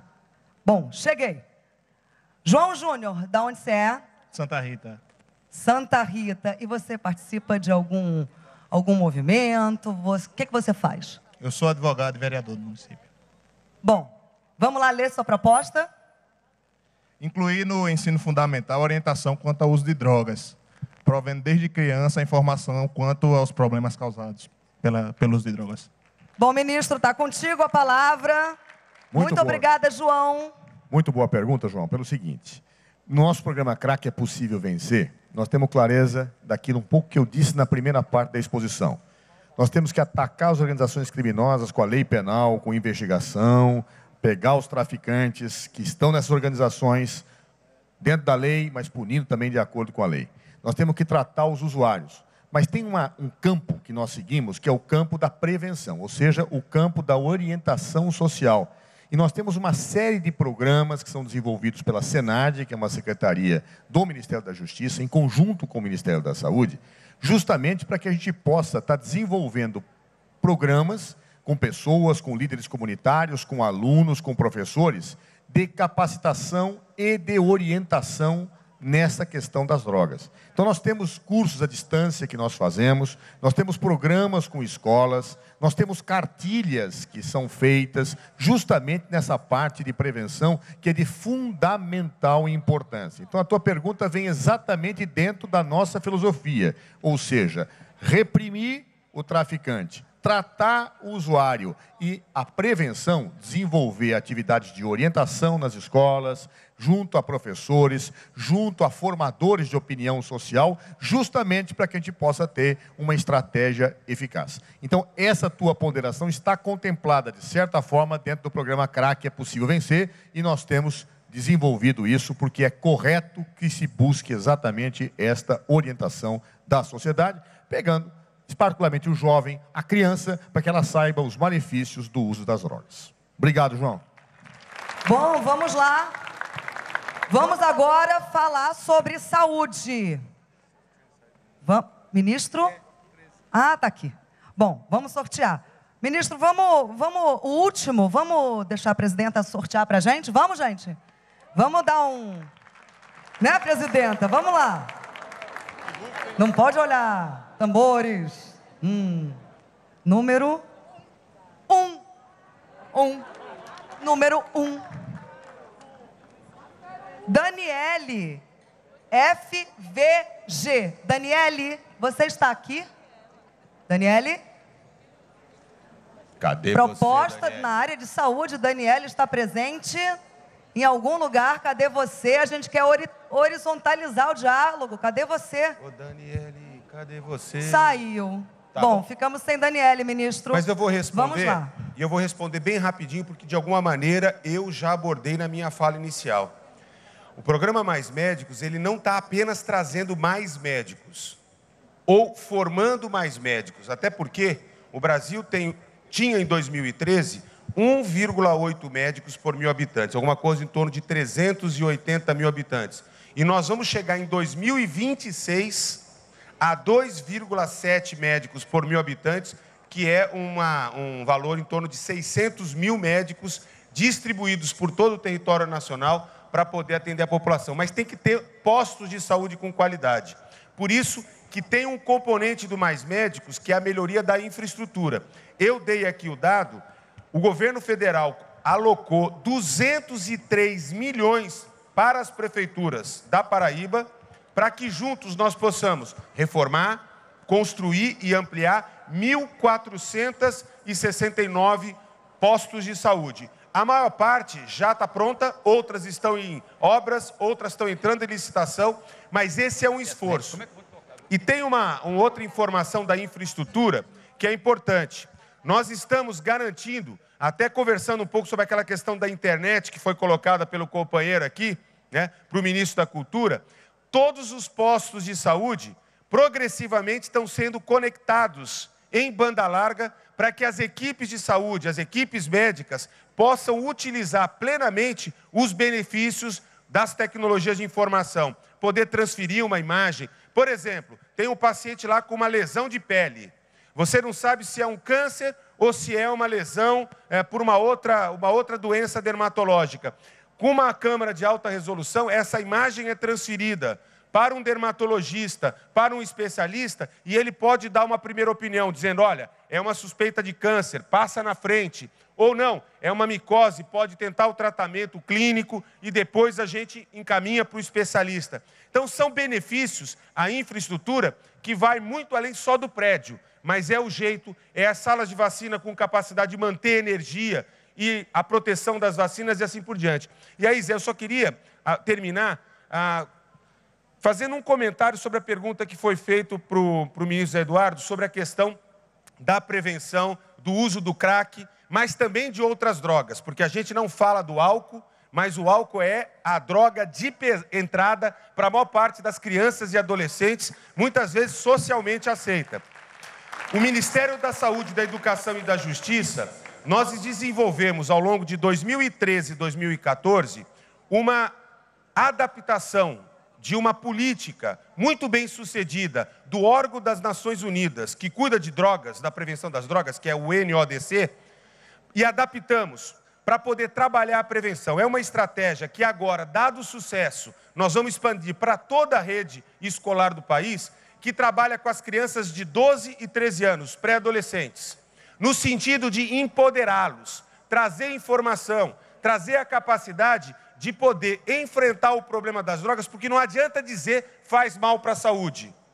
Acima de tudo, ele precisa de elementos, de uma estrutura social, de um grupo com quem ele compartilha a vida, a própria família, a própria escola, que dê capacidade dele olhar para frente, ter o seu projeto de vida e ir além das drogas. Os resultados das escolas onde nós fizemos os pilotos foram extremamente importantes não só o número de crianças e adolescentes que passaram a usar álcool e outras drogas é muito menor, mas principalmente o uso pesado. Portanto, este é um problema que envolve a família, envolve a sociedade, envolve a escola, envolve a saúde, envolve a justiça, mas envolve todo o Brasil. Portanto, no Dialoga Brasil, vamos conversar sobre a questão da prevenção das drogas. Bom, gente, já se tornou uma tradição no Dialoga que em cada estado que a gente vai, a gente conhece um pouco também da cultura do estado. Então, esses encontros de governo e sociedade civil também são encontros culturais. Bom, hoje não poderia ser diferente, e para isso o governo do estado traz ao Dialoga essa manifestação cultural de arte da Paraíba. Então, nós vamos receber hoje aqui no Dialoga Brasil o cavalo marinho da Paraíba.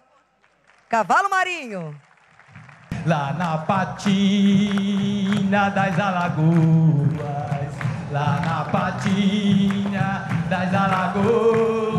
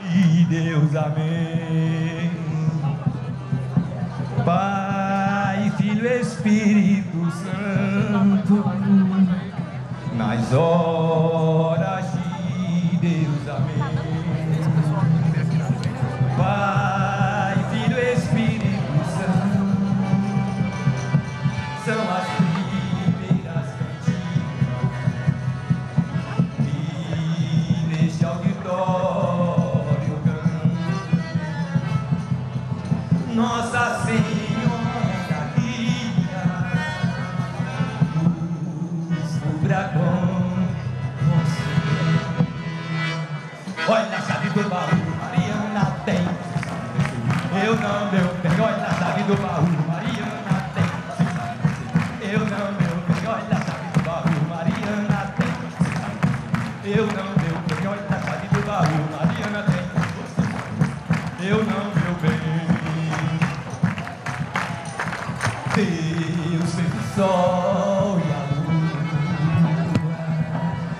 fez as estrelas também.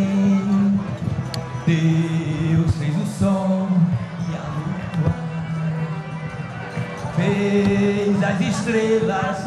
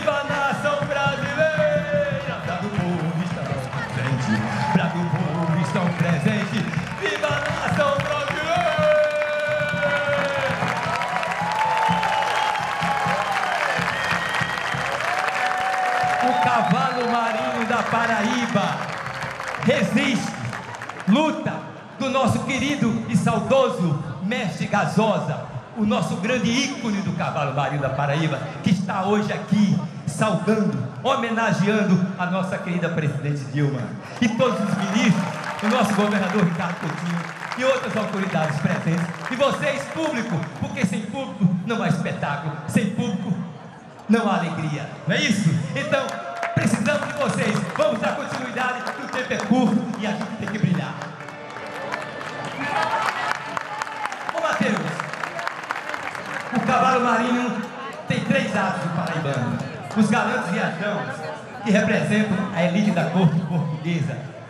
Daquelas épocas. Tem os mascarados, o nosso querido Mateus, o Birico e a Catirina, tem os personagens animais, a Ema, o Urubu, o Bode, tem os personagens fantásticos, a Jaraguá e a, e, a, e a Margarida, e o terceiro ato que é a morte e ressurreição do boi. Vamos para a despedida. Muito obrigado, gente. Muito obrigado de coração. Fiquem com Deus, na paz do Senhor Jesus Cristo. Meu Senhor, dono da casa, já ganhei o seu dinheiro. Meu Senhor, dono da casa, já ganhei o seu dinheiro.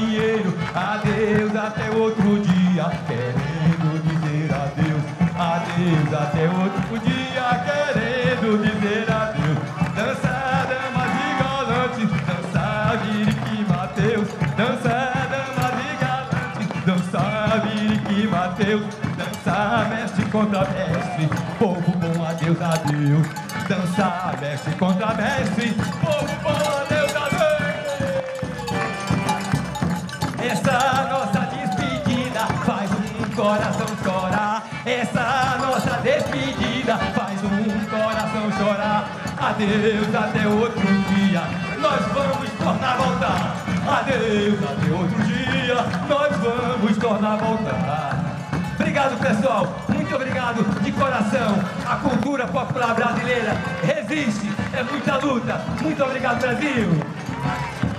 É a Muito despedida. obrigado. Vamos, gente. Valeu, Cavalo Marinho da Essa Paraíba. nossa Muito despedida Faz obrigada. um coração chorar. Essa nossa despedida faz um coração chorar. Adeus, até outro dia. É a cultura nordestina. Adeus, meu povo brasileiro. Até outro dia nós vamos tornar a Deu o meu recado.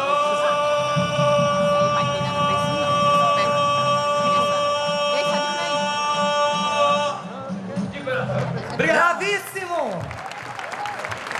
Maravilhoso espetáculo! Bravo Cavalo Marinho da Paraíba. Muito bacana. Muito bonito. Tá tudo certo. Vamos continuar, porque a gente está falando da Paraíba, a gente está falando desse estado maravilhoso. Então, nesse momento, tá todo mundo certo? Tá todo mundo acomodado aí para continuar dialogando? Tá tudo certo? Vamos lá? Eu já o escutei, vamos lá, né? Continuando. Então vamos lá, a gente está falando da Paraíba. Então, acabamos de ver uma manifestação cultural paraibana. Então agora, nós vamos escutar o governador Ricardo Coutinho. Com a palavra, muito bem-vindo, boa tarde. Boa tarde. Boa tarde, companheiras. Muito boa tarde, companheiros. Boa tarde, caríssima presidente Dilma Rousseff. É um prazer enorme para o nosso Estado, para o nosso povo, tê-la aqui juntamente com toda a comitiva de ministros, assessores. E em seu nome eu cumprimento todos, evidentemente, para poder ganhar um certo tempo e nós podermos te escutar com mais clareza. Eu quero dizer, presidente, que a senhora está numa terra que cultiva a democracia participativa. De 2011 a 2015, 156 mil pessoas cadastradas passaram por grandes plenárias regionais para poder construir o orçamento desse Estado. É por isso que obras que antes, ou ações que antes eram tão distantes da população, hoje se tornam tão próximas. E é por isso também que eu saúdo esse momento do Dialoga Brasil como sendo um grande momento construtor de aproximações para superar desafios. A palavra, companheiras, queridas companheiras, a palavra nesse momento, mais do que para mim dialogar em torno de tantos problemas e, e questões fundamentais para o Brasil, mas eu queria colocar um sexto tema. É o tema do desafio que esse país, que esse povo tem diante de si. O Brasil está diante, o seu povo está diante de uma certa encruzilhada. Alguns sonham com algumas épocas em que determinadas regiões, como a nossa, só existiam no mapa, mas não existiam nas políticas públicas. Se via esta região que nós moramos, que é viável, que não é problema, mas que é uma solução, se via essa região simplesmente como uma região que não deu certo, como uma região que a cada seca se invadiam fe feiras e apareciam nas manchetes dos jornais nacionais da vida. Era assim que se via o Nordeste.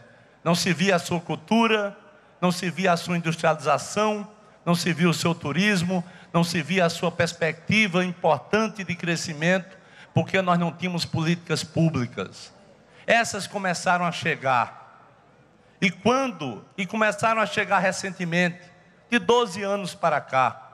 Eu lembro, eu lembro, já tinha até alguns cabelos brancos, mas eu lembro em ter visto seca, estiagem aqui dentro, com ocupações de feiras, com as pessoas invadindo uma feira para poder ter o direito a comer. Nós estamos há quatro anos com estiagem violentíssima, talvez a mais violenta do, do último século. Observem, se fala em tudo, inclusive em falta d'água, porque efetivamente não tem. Estamos tendo que ter políticas compensatórias, mas não se fala em fome. não se fala em fome aqui dentro. O Nordeste não aparece falando de fome. O Nordeste passou a ter o índice de desenvolvimento ao longo de 2003 a 2012 simplesmente superior a 27% do desenvolvimento, do aumento do PIB da média nacional. Enquanto o Brasil cresceu em média 3,7%, o Nordeste cresceu 4,8%. Isso dá 27% de aumento sobre a média nacional. Isso só foi possível porque se olhou para essa região, não como um favor, mas como uma determinação e como uma obrigação se mostrou porque se olhou porque se incluiu políticas públicas aqui dentro. Se incluiu a partir do governo Lula e alguns saudosistas de antes. De antes. Que eu vejo hoje serem os paladinos de tanta moralidade, mas que quando tiveram a condição de fazer, esqueceram o povo como sempre esquece, lembrando somente em época eleitoral. Nós precisamos ter o desafio para poder dizer hoje se o Brasil supera as suas dificuldades, supera os nossos erros, porque nós temos erros também, e segue adiante ou se volta a uma época em que o povo era simplesmente um elemento, um sujeito que era chamado há quatro anos para votar em alguém. Se o Brasil quer continuar a caminhar nas suas políticas de segurança hídrica, onde a presidenta Dilma, indiscutivelmente, foi a presidente que mais avançou nessa, nessa ação específica de construção de adutoras e de avanço, inclusive, da transposição. Se nós queremos isso ou se nós queremos aquela época anterior. Eu não tenho a menor dúvida. É por isso que o desafio está feito. Eu tenho aqui formadores de opinião, de opinião. Aqui é gente que reproduz. Aqui são movimentos dos mais organizados espalhados pela Paraíba movimento cultural, movimento religioso, movimento sindical, os mais diversos movimentos. O que está diante de nós é não permitir o retrocesso. O que está diante de nós é termos a capacidade de olhar para frente e caminhar para frente. Porque esse país é muito maior do que qualquer crise que porventura se coloque no, no, nosso, no nosso caminho. Nós vamos superar essa crise. Nós vamos superar porque eu conheço municípios e como eu conheço o ministro Quioro, onde se andava 30 quilômetros para ter acesso ao médico. Muita gente aqui sabe o que eu estou dizendo. Se andava 30 quilômetros para ter acesso ao médico, sem saber que poderia encontrá-lo, porque às vezes chegava lá e o médico não estava mais lá. Hoje, hoje você encontra o médico e mais do que isso, você encontra o absurdo de alguns setores que tentam derrubar mais médicos como isso fosse uma política de uma pessoa e não do povo desse Brasil.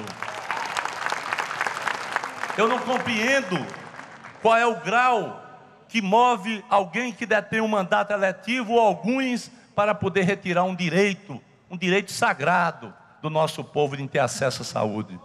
Eu quero mais do que nunca, e apenas citei esse exemplo, eu quero mais do que nunca é expressar nossa satisfação e a certeza de superar as dificuldades, superar até as impossibilidades, mas apontar para o futuro.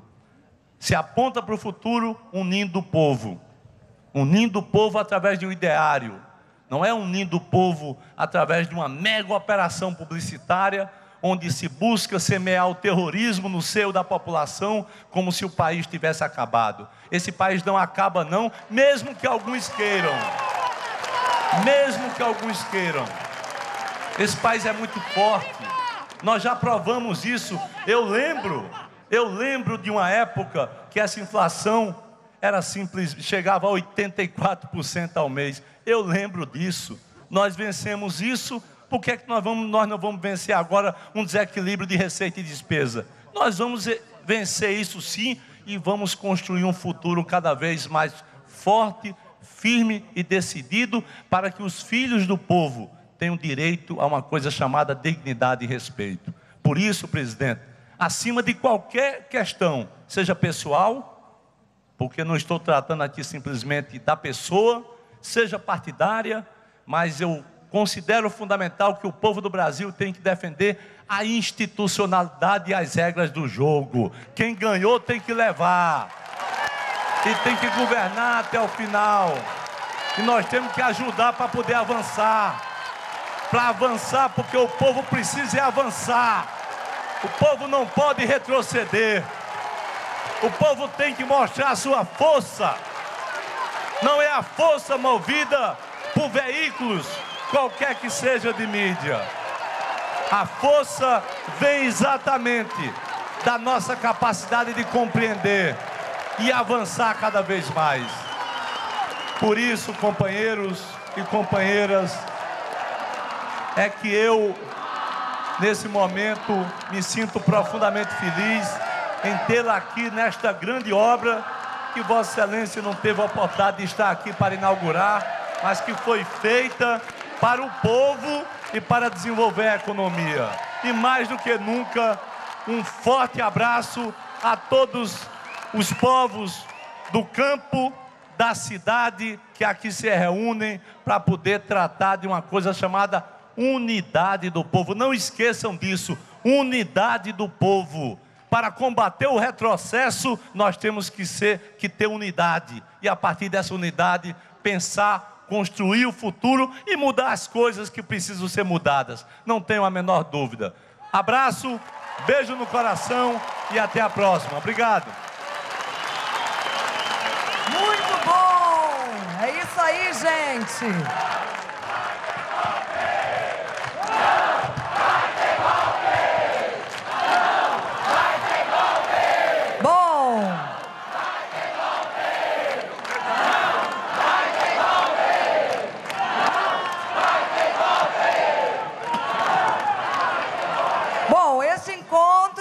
Gente, esse encontro tem que acabar. Mas não vai acabar o diálogo com o povo brasileiro, não é isso? Olha só, já anoiteceu e a gente, eu comecei falando boa tarde, agora já falo boa noite para vocês. Mas a gente, antes de terminar esse evento, a gente teve uma pessoa que ficou escutando todos, todos nós, durante essas duas horas. Não é isso? Uma pessoa que nos escutou pacientemente. Então agora, nós vamos escutar, nós vamos ouvir as palavras dela.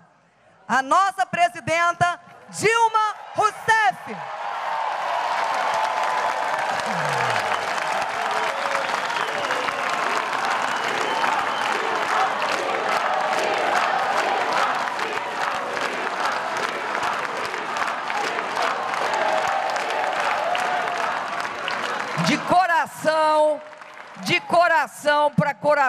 Muito obrigado.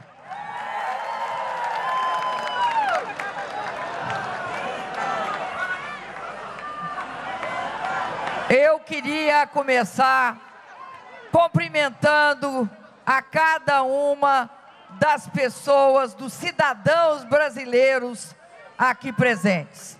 Brasileiros, nordestinos, paraibanos. Queria também cumprimentar e agradecer ao nosso querido governador,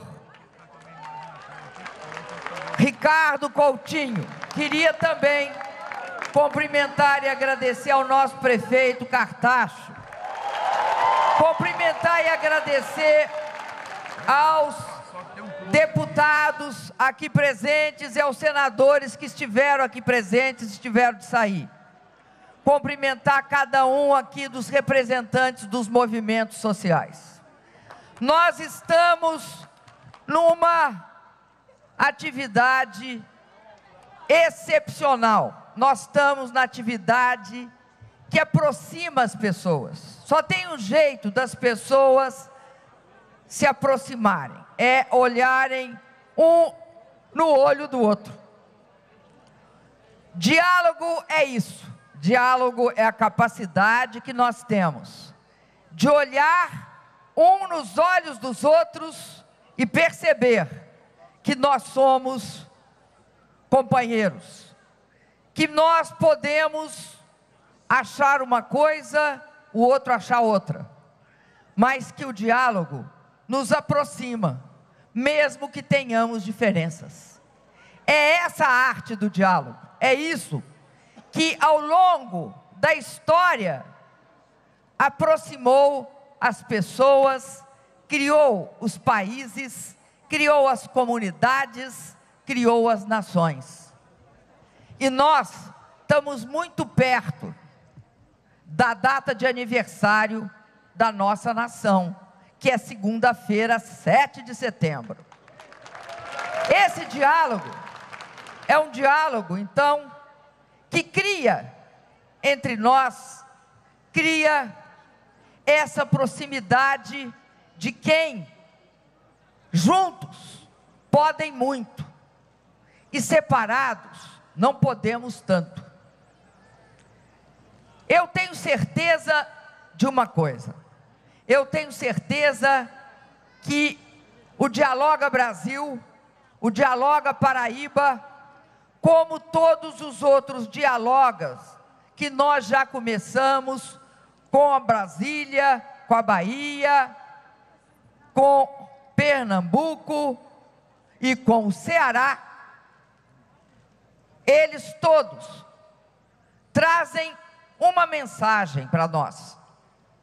A mensagem é a seguinte: nós temos de seguir em frente, superando nossos problemas, porque nós também temos problemas, superando e avançando. Avançando em quê? Eu acho que a principal característica do governo em que pese as nossas eventuais falhas, mas a grande conquista do governo foi olhar para o povo desse país e perceber que na nossa grande diversidade, nós somos diferentes uns dos outros, mas nós todos temos direito às mesmas oportunidades. É isso que distingue o meu governo e que distinguiu o governo do presidente Lula. Nós consideramos que o Brasil precisava também de olhar para as diferentes regiões e perceber que o povo de cada uma das regiões também tinha direito às mesmas oportunidades. É a oportunidade social e a oportunidade e o direito das regiões. Por isso, eu tenho certeza de uma coisa. Tenho certeza que nós trabalhamos muito para reverter toda a história de desigualdade que desde a escravidão, desde a colonização, pesa sobre uma parte dos brasileiros e pesa sobre as regiões desse país.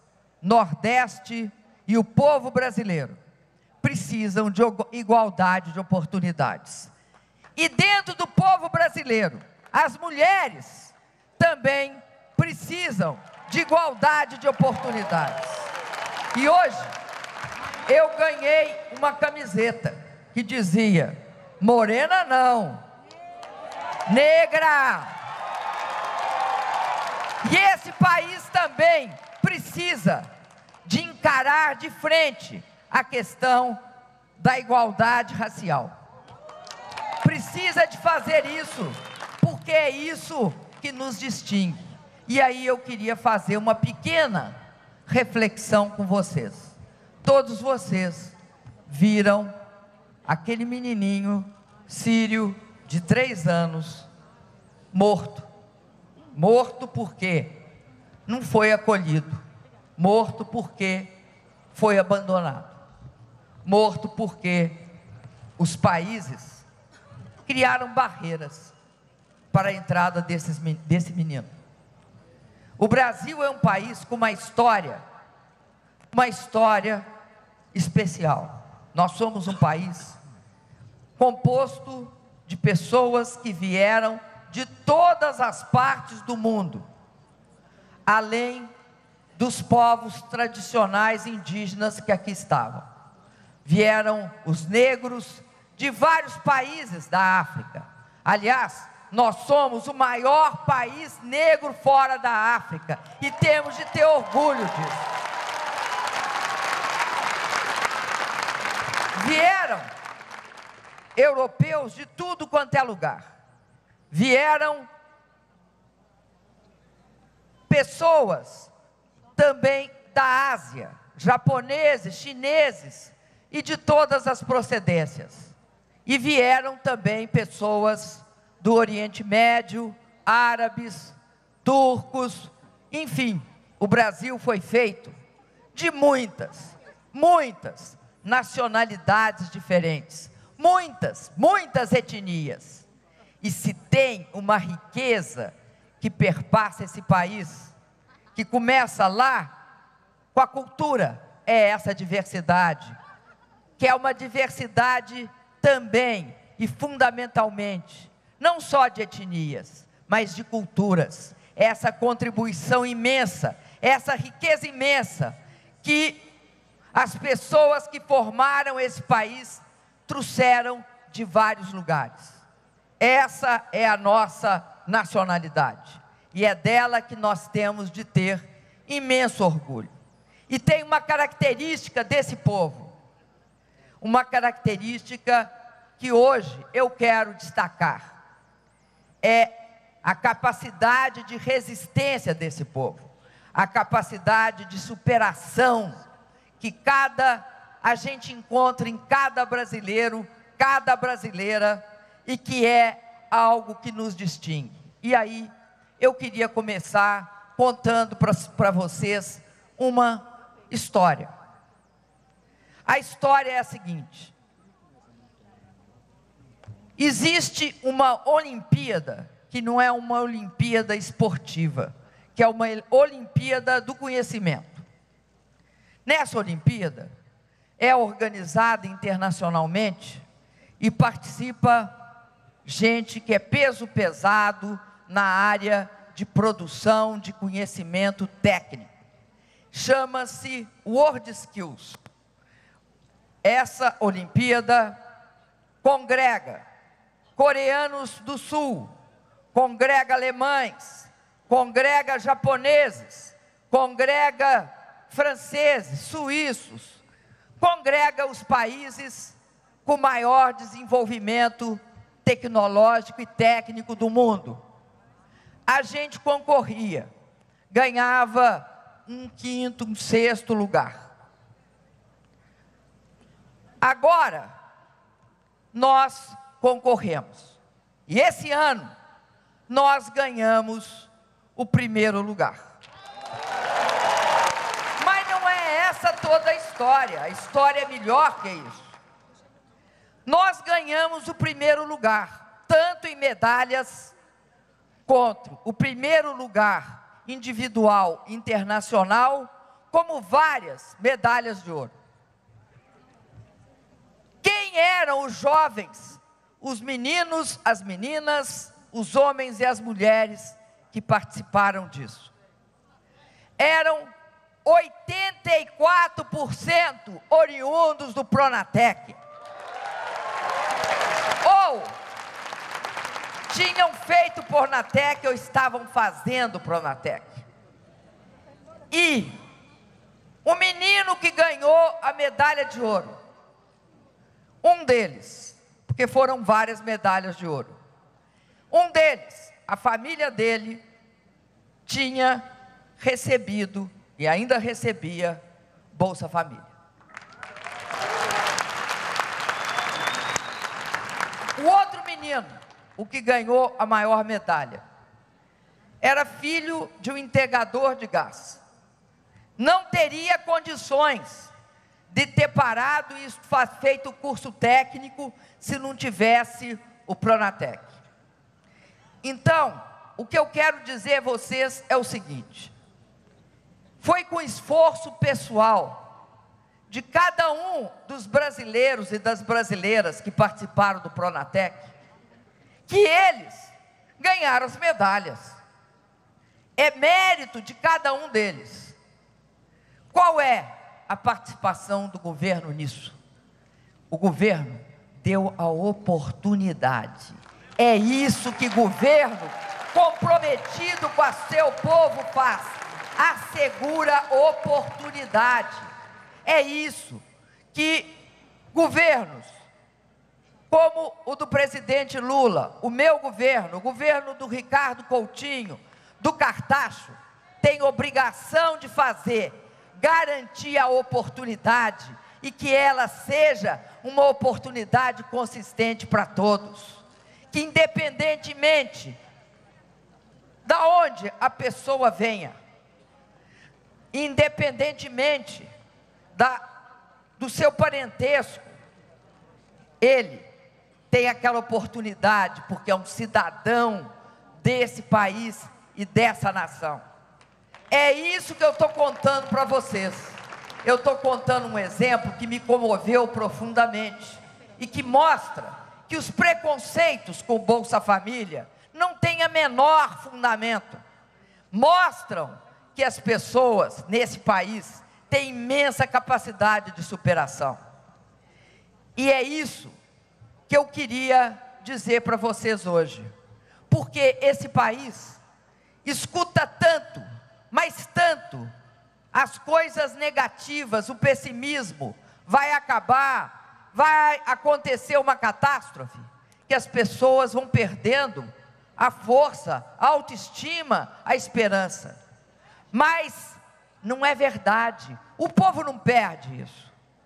E é isso que quando fizeram, eu não sei se vocês lembram, que fizeram uma propaganda que dizia o seguinte: a melhor coisa do Brasil é o brasileiro.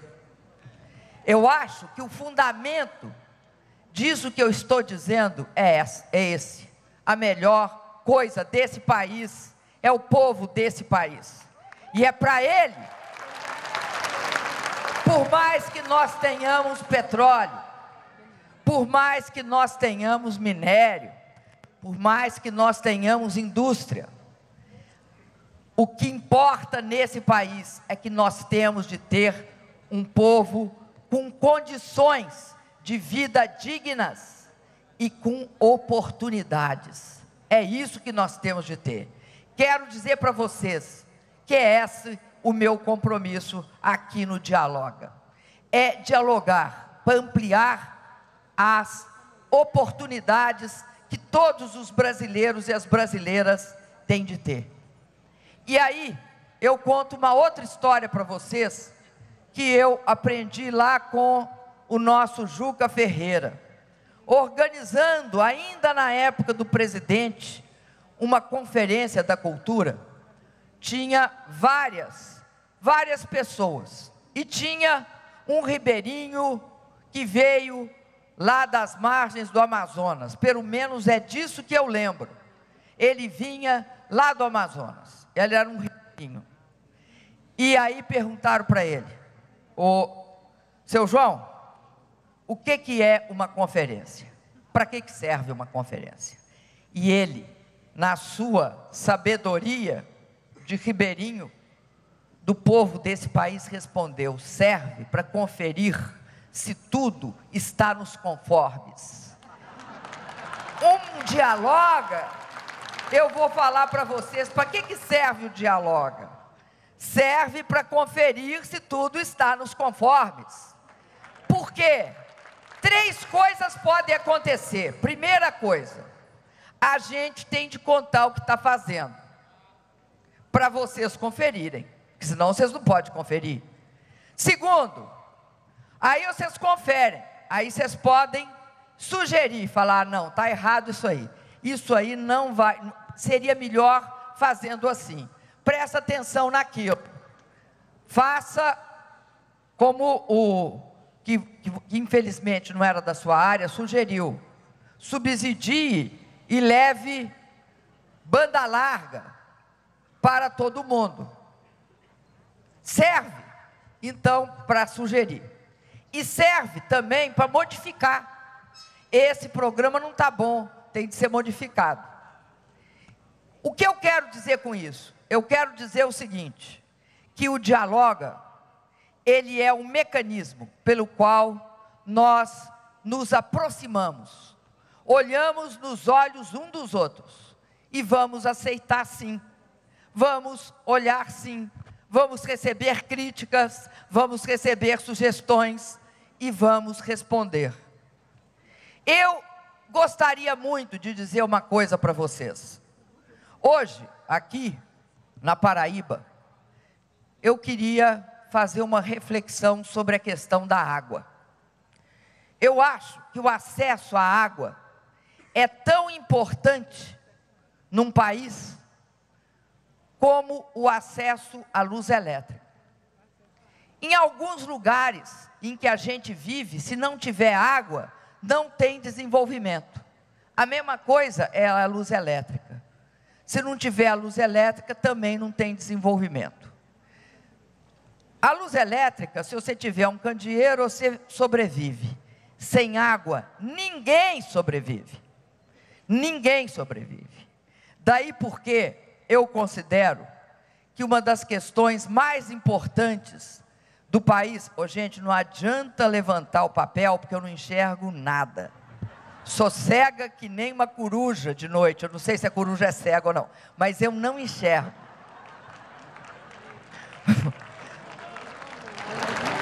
Eu não enxergo. Não enxergo. Sabe o que é? Eu não enxergo de longe.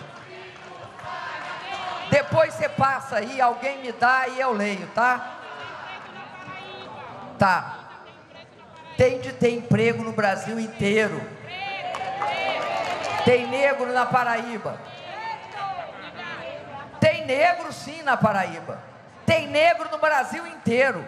O censo desse país, gente, o censo. Uma vez eu disse que isso era a maior manifestação de autoestima do povo brasileiro. É que o censo brasileiro, o censo de 2010, reconheceu que 52% da população era de negros. 52%. Ou seja, a maioria da população. Se as pessoas se reconheceram como negra, é porque elas valorizavam ser negras. Esse é o dado mais importante do censo. É a gente ser capaz de se olhar no espelho e dizer: eu sou negro. Então, pode ter certeza, na Paraíba, no Brasil, em cada canto desse país. Em cada canto. Nós somos isso, graças a Deus. Porque não teríamos essa alegria toda se não tivesse a contribuição dos nossos irmãos brasileiros oriundos da África. Mas voltando ao que eu estava falando. Bom, eu tô que nem o Juca, esqueci da água. Porque o Juca outro dia esqueceu onde é que ele estava e ninguém. Já, já lembrei água. Então, eu estou falando da questão da água. A questão da água é elemento fundamental para a igualdade de oportunidades. Elemento fundamental.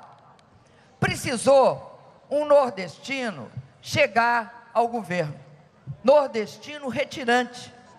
Ele era retirante, o Lula. Ele saiu do Nordeste com a mãe dele e os irmãos, sem nada, praticamente sem nada e chegou aonde chegou. Então, também é um exemplo.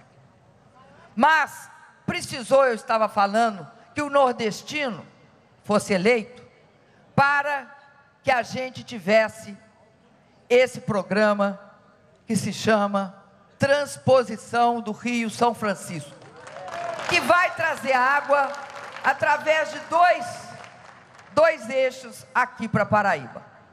É uma obra fundamental é uma obra fundamental. Por quê? Porque ela vai, ela vai ser capaz de assegurar de forma de forma bastante significativa o acesso à água, tanto para as pessoas matarem a sede, para os animais matarem a sede e também para ser possível a atividade produtiva aqui no estado quando a seca bate. E nós sabemos que a seca está batendo forte há quatro anos. há quatro anos nós vivemos um período de seca. Eu quero dizer para vocês que nós temos um compromisso e um orgulho. É um compromisso e é um orgulho, que é entregar a obra da transposição do São Francisco o mais rápido possível. E aí eu quero assumir também aqui um compromisso. O mundo pode dar as voltas que der. Nós não iremos de maneira alguma paralisar, suspender a obra do São Francisco. Esse é o compromisso do meu governo com toda a região nordestina do semiárido beneficiada pela integração do São Francisco. Mas além disso, tem outra coisa. Eu sei que vocês aqui passam por uma grande um grande sufoco em matéria de água. Tem cidades que já estão bastante em bastante dificuldades para o abastecimento, como é o caso de Campina Grande. Uma outra coisa que nós faremos, nós tomaremos as medidas para, em parceria com o governador, em parceria com o povo daqui, nós tomarmos medidas emergenciais, uma vez que a transposição ela ainda leva todo ano que vem para ficar pronta. E isso eu estou dizendo porque eu tenho perfeita clareza que eu, o Nordeste precisa de muito pouco para deslanchar. Precisa de ter as mesmas condições que os estados desenvolvidos desse país têm: infraestrutura, rodovia, portos, precisa de água e, sobretudo, precisa também de universidade, precisa de ensino técnico, precisa de garantia de acesso.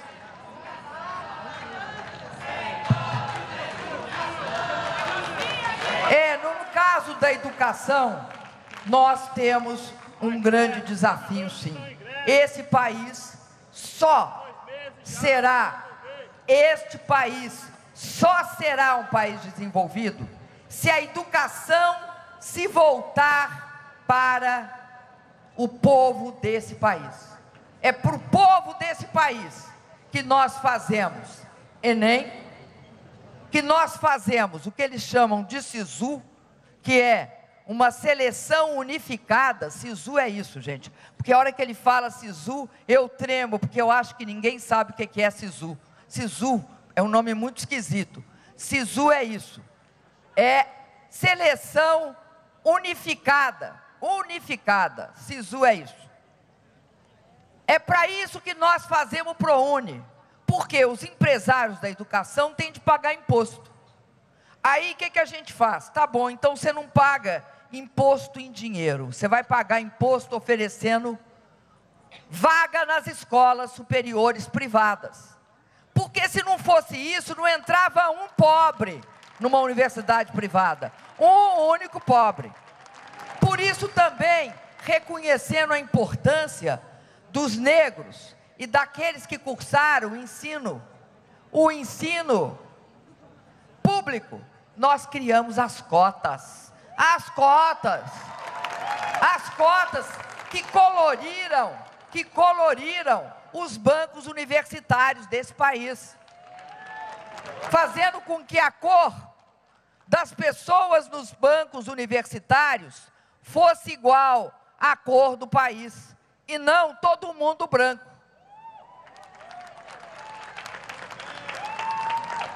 Então, eu quero dizer uma outra coisa para vocês, que eu acho muito importante daquilo que os ministros falaram. Uma é uma questão para as mulheres.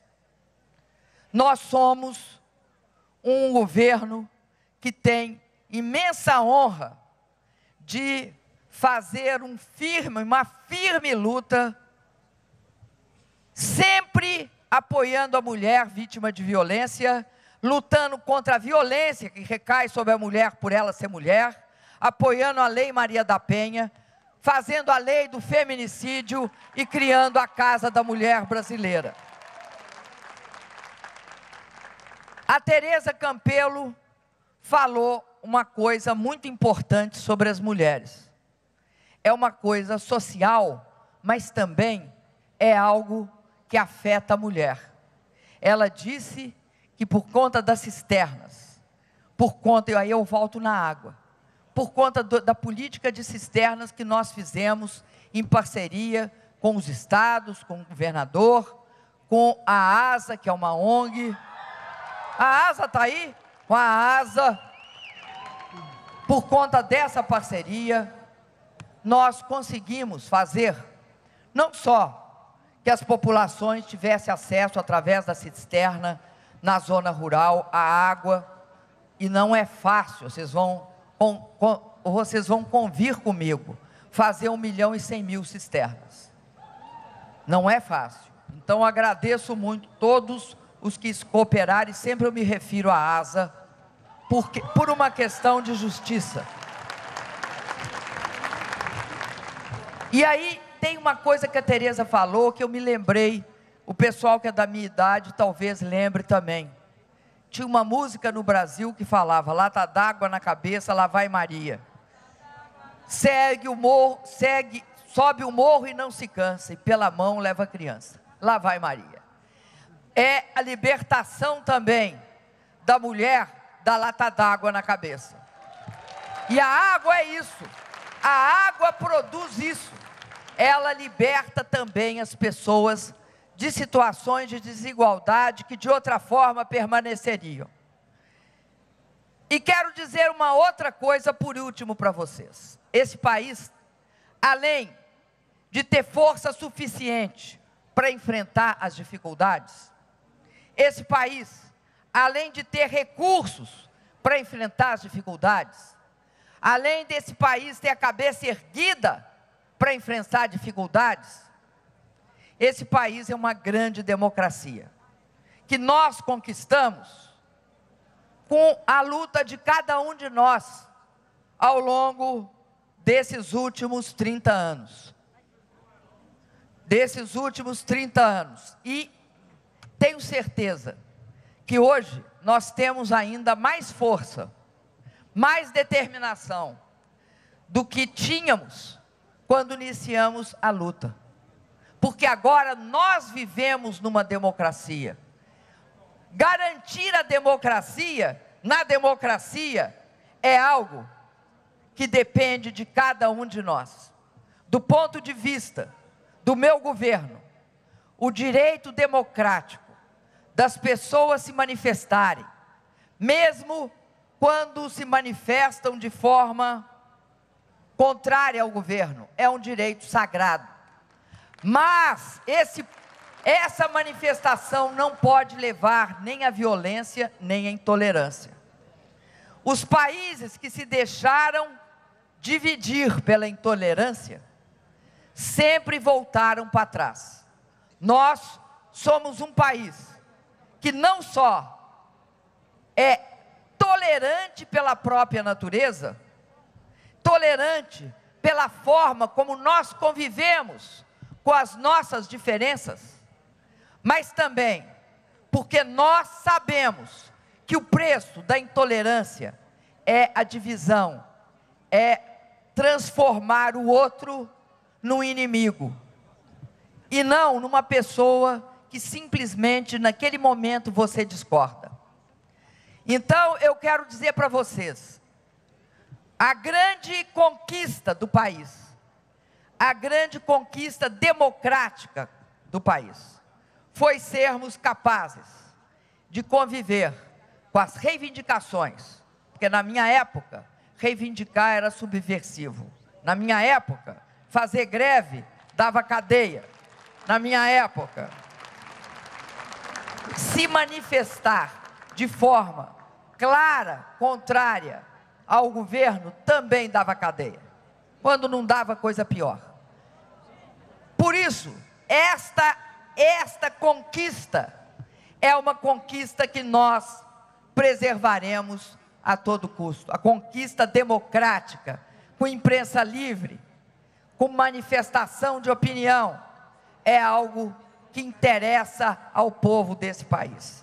E a estabilidade desse país significa respeito às instituições, respeito ao voto popular, porque o voto popular é a base da democracia. Finalmente, eu quero dizer uma coisa. Eu agradeço a vocês, agradeço ao calor com que vocês nos recebem. Agradeço a vocês por participarem. E gostaria muito que vocês continuassem debatendo, dialogando conosco através dessa que é uma das mais modernas formas de participação, que é a internet. A internet permite que a gente se encontre, converse, mesmo quando não estamos com olho no olho. Mas permite que a gente saiba o que vocês estão pensando, o que vocês acham de nós, o que vocês querem que nós mudemos. Por isso, meu apelo final: dialoga, Paraíba, dialoga. Bravíssimo! Nós acompanhamos a divulgação do Dialoga Brasil em João Pessoa, na Paraíba. Durante o evento, a presidenta Dilma Rousseff e os ministros falaram sobre os programas de governo e ouviram as sugestões dos paraibanos. Lembrando que o site do projeto é o dialoga.gov.br. Continue aqui com a gente na NBR, a TV do Governo Federal.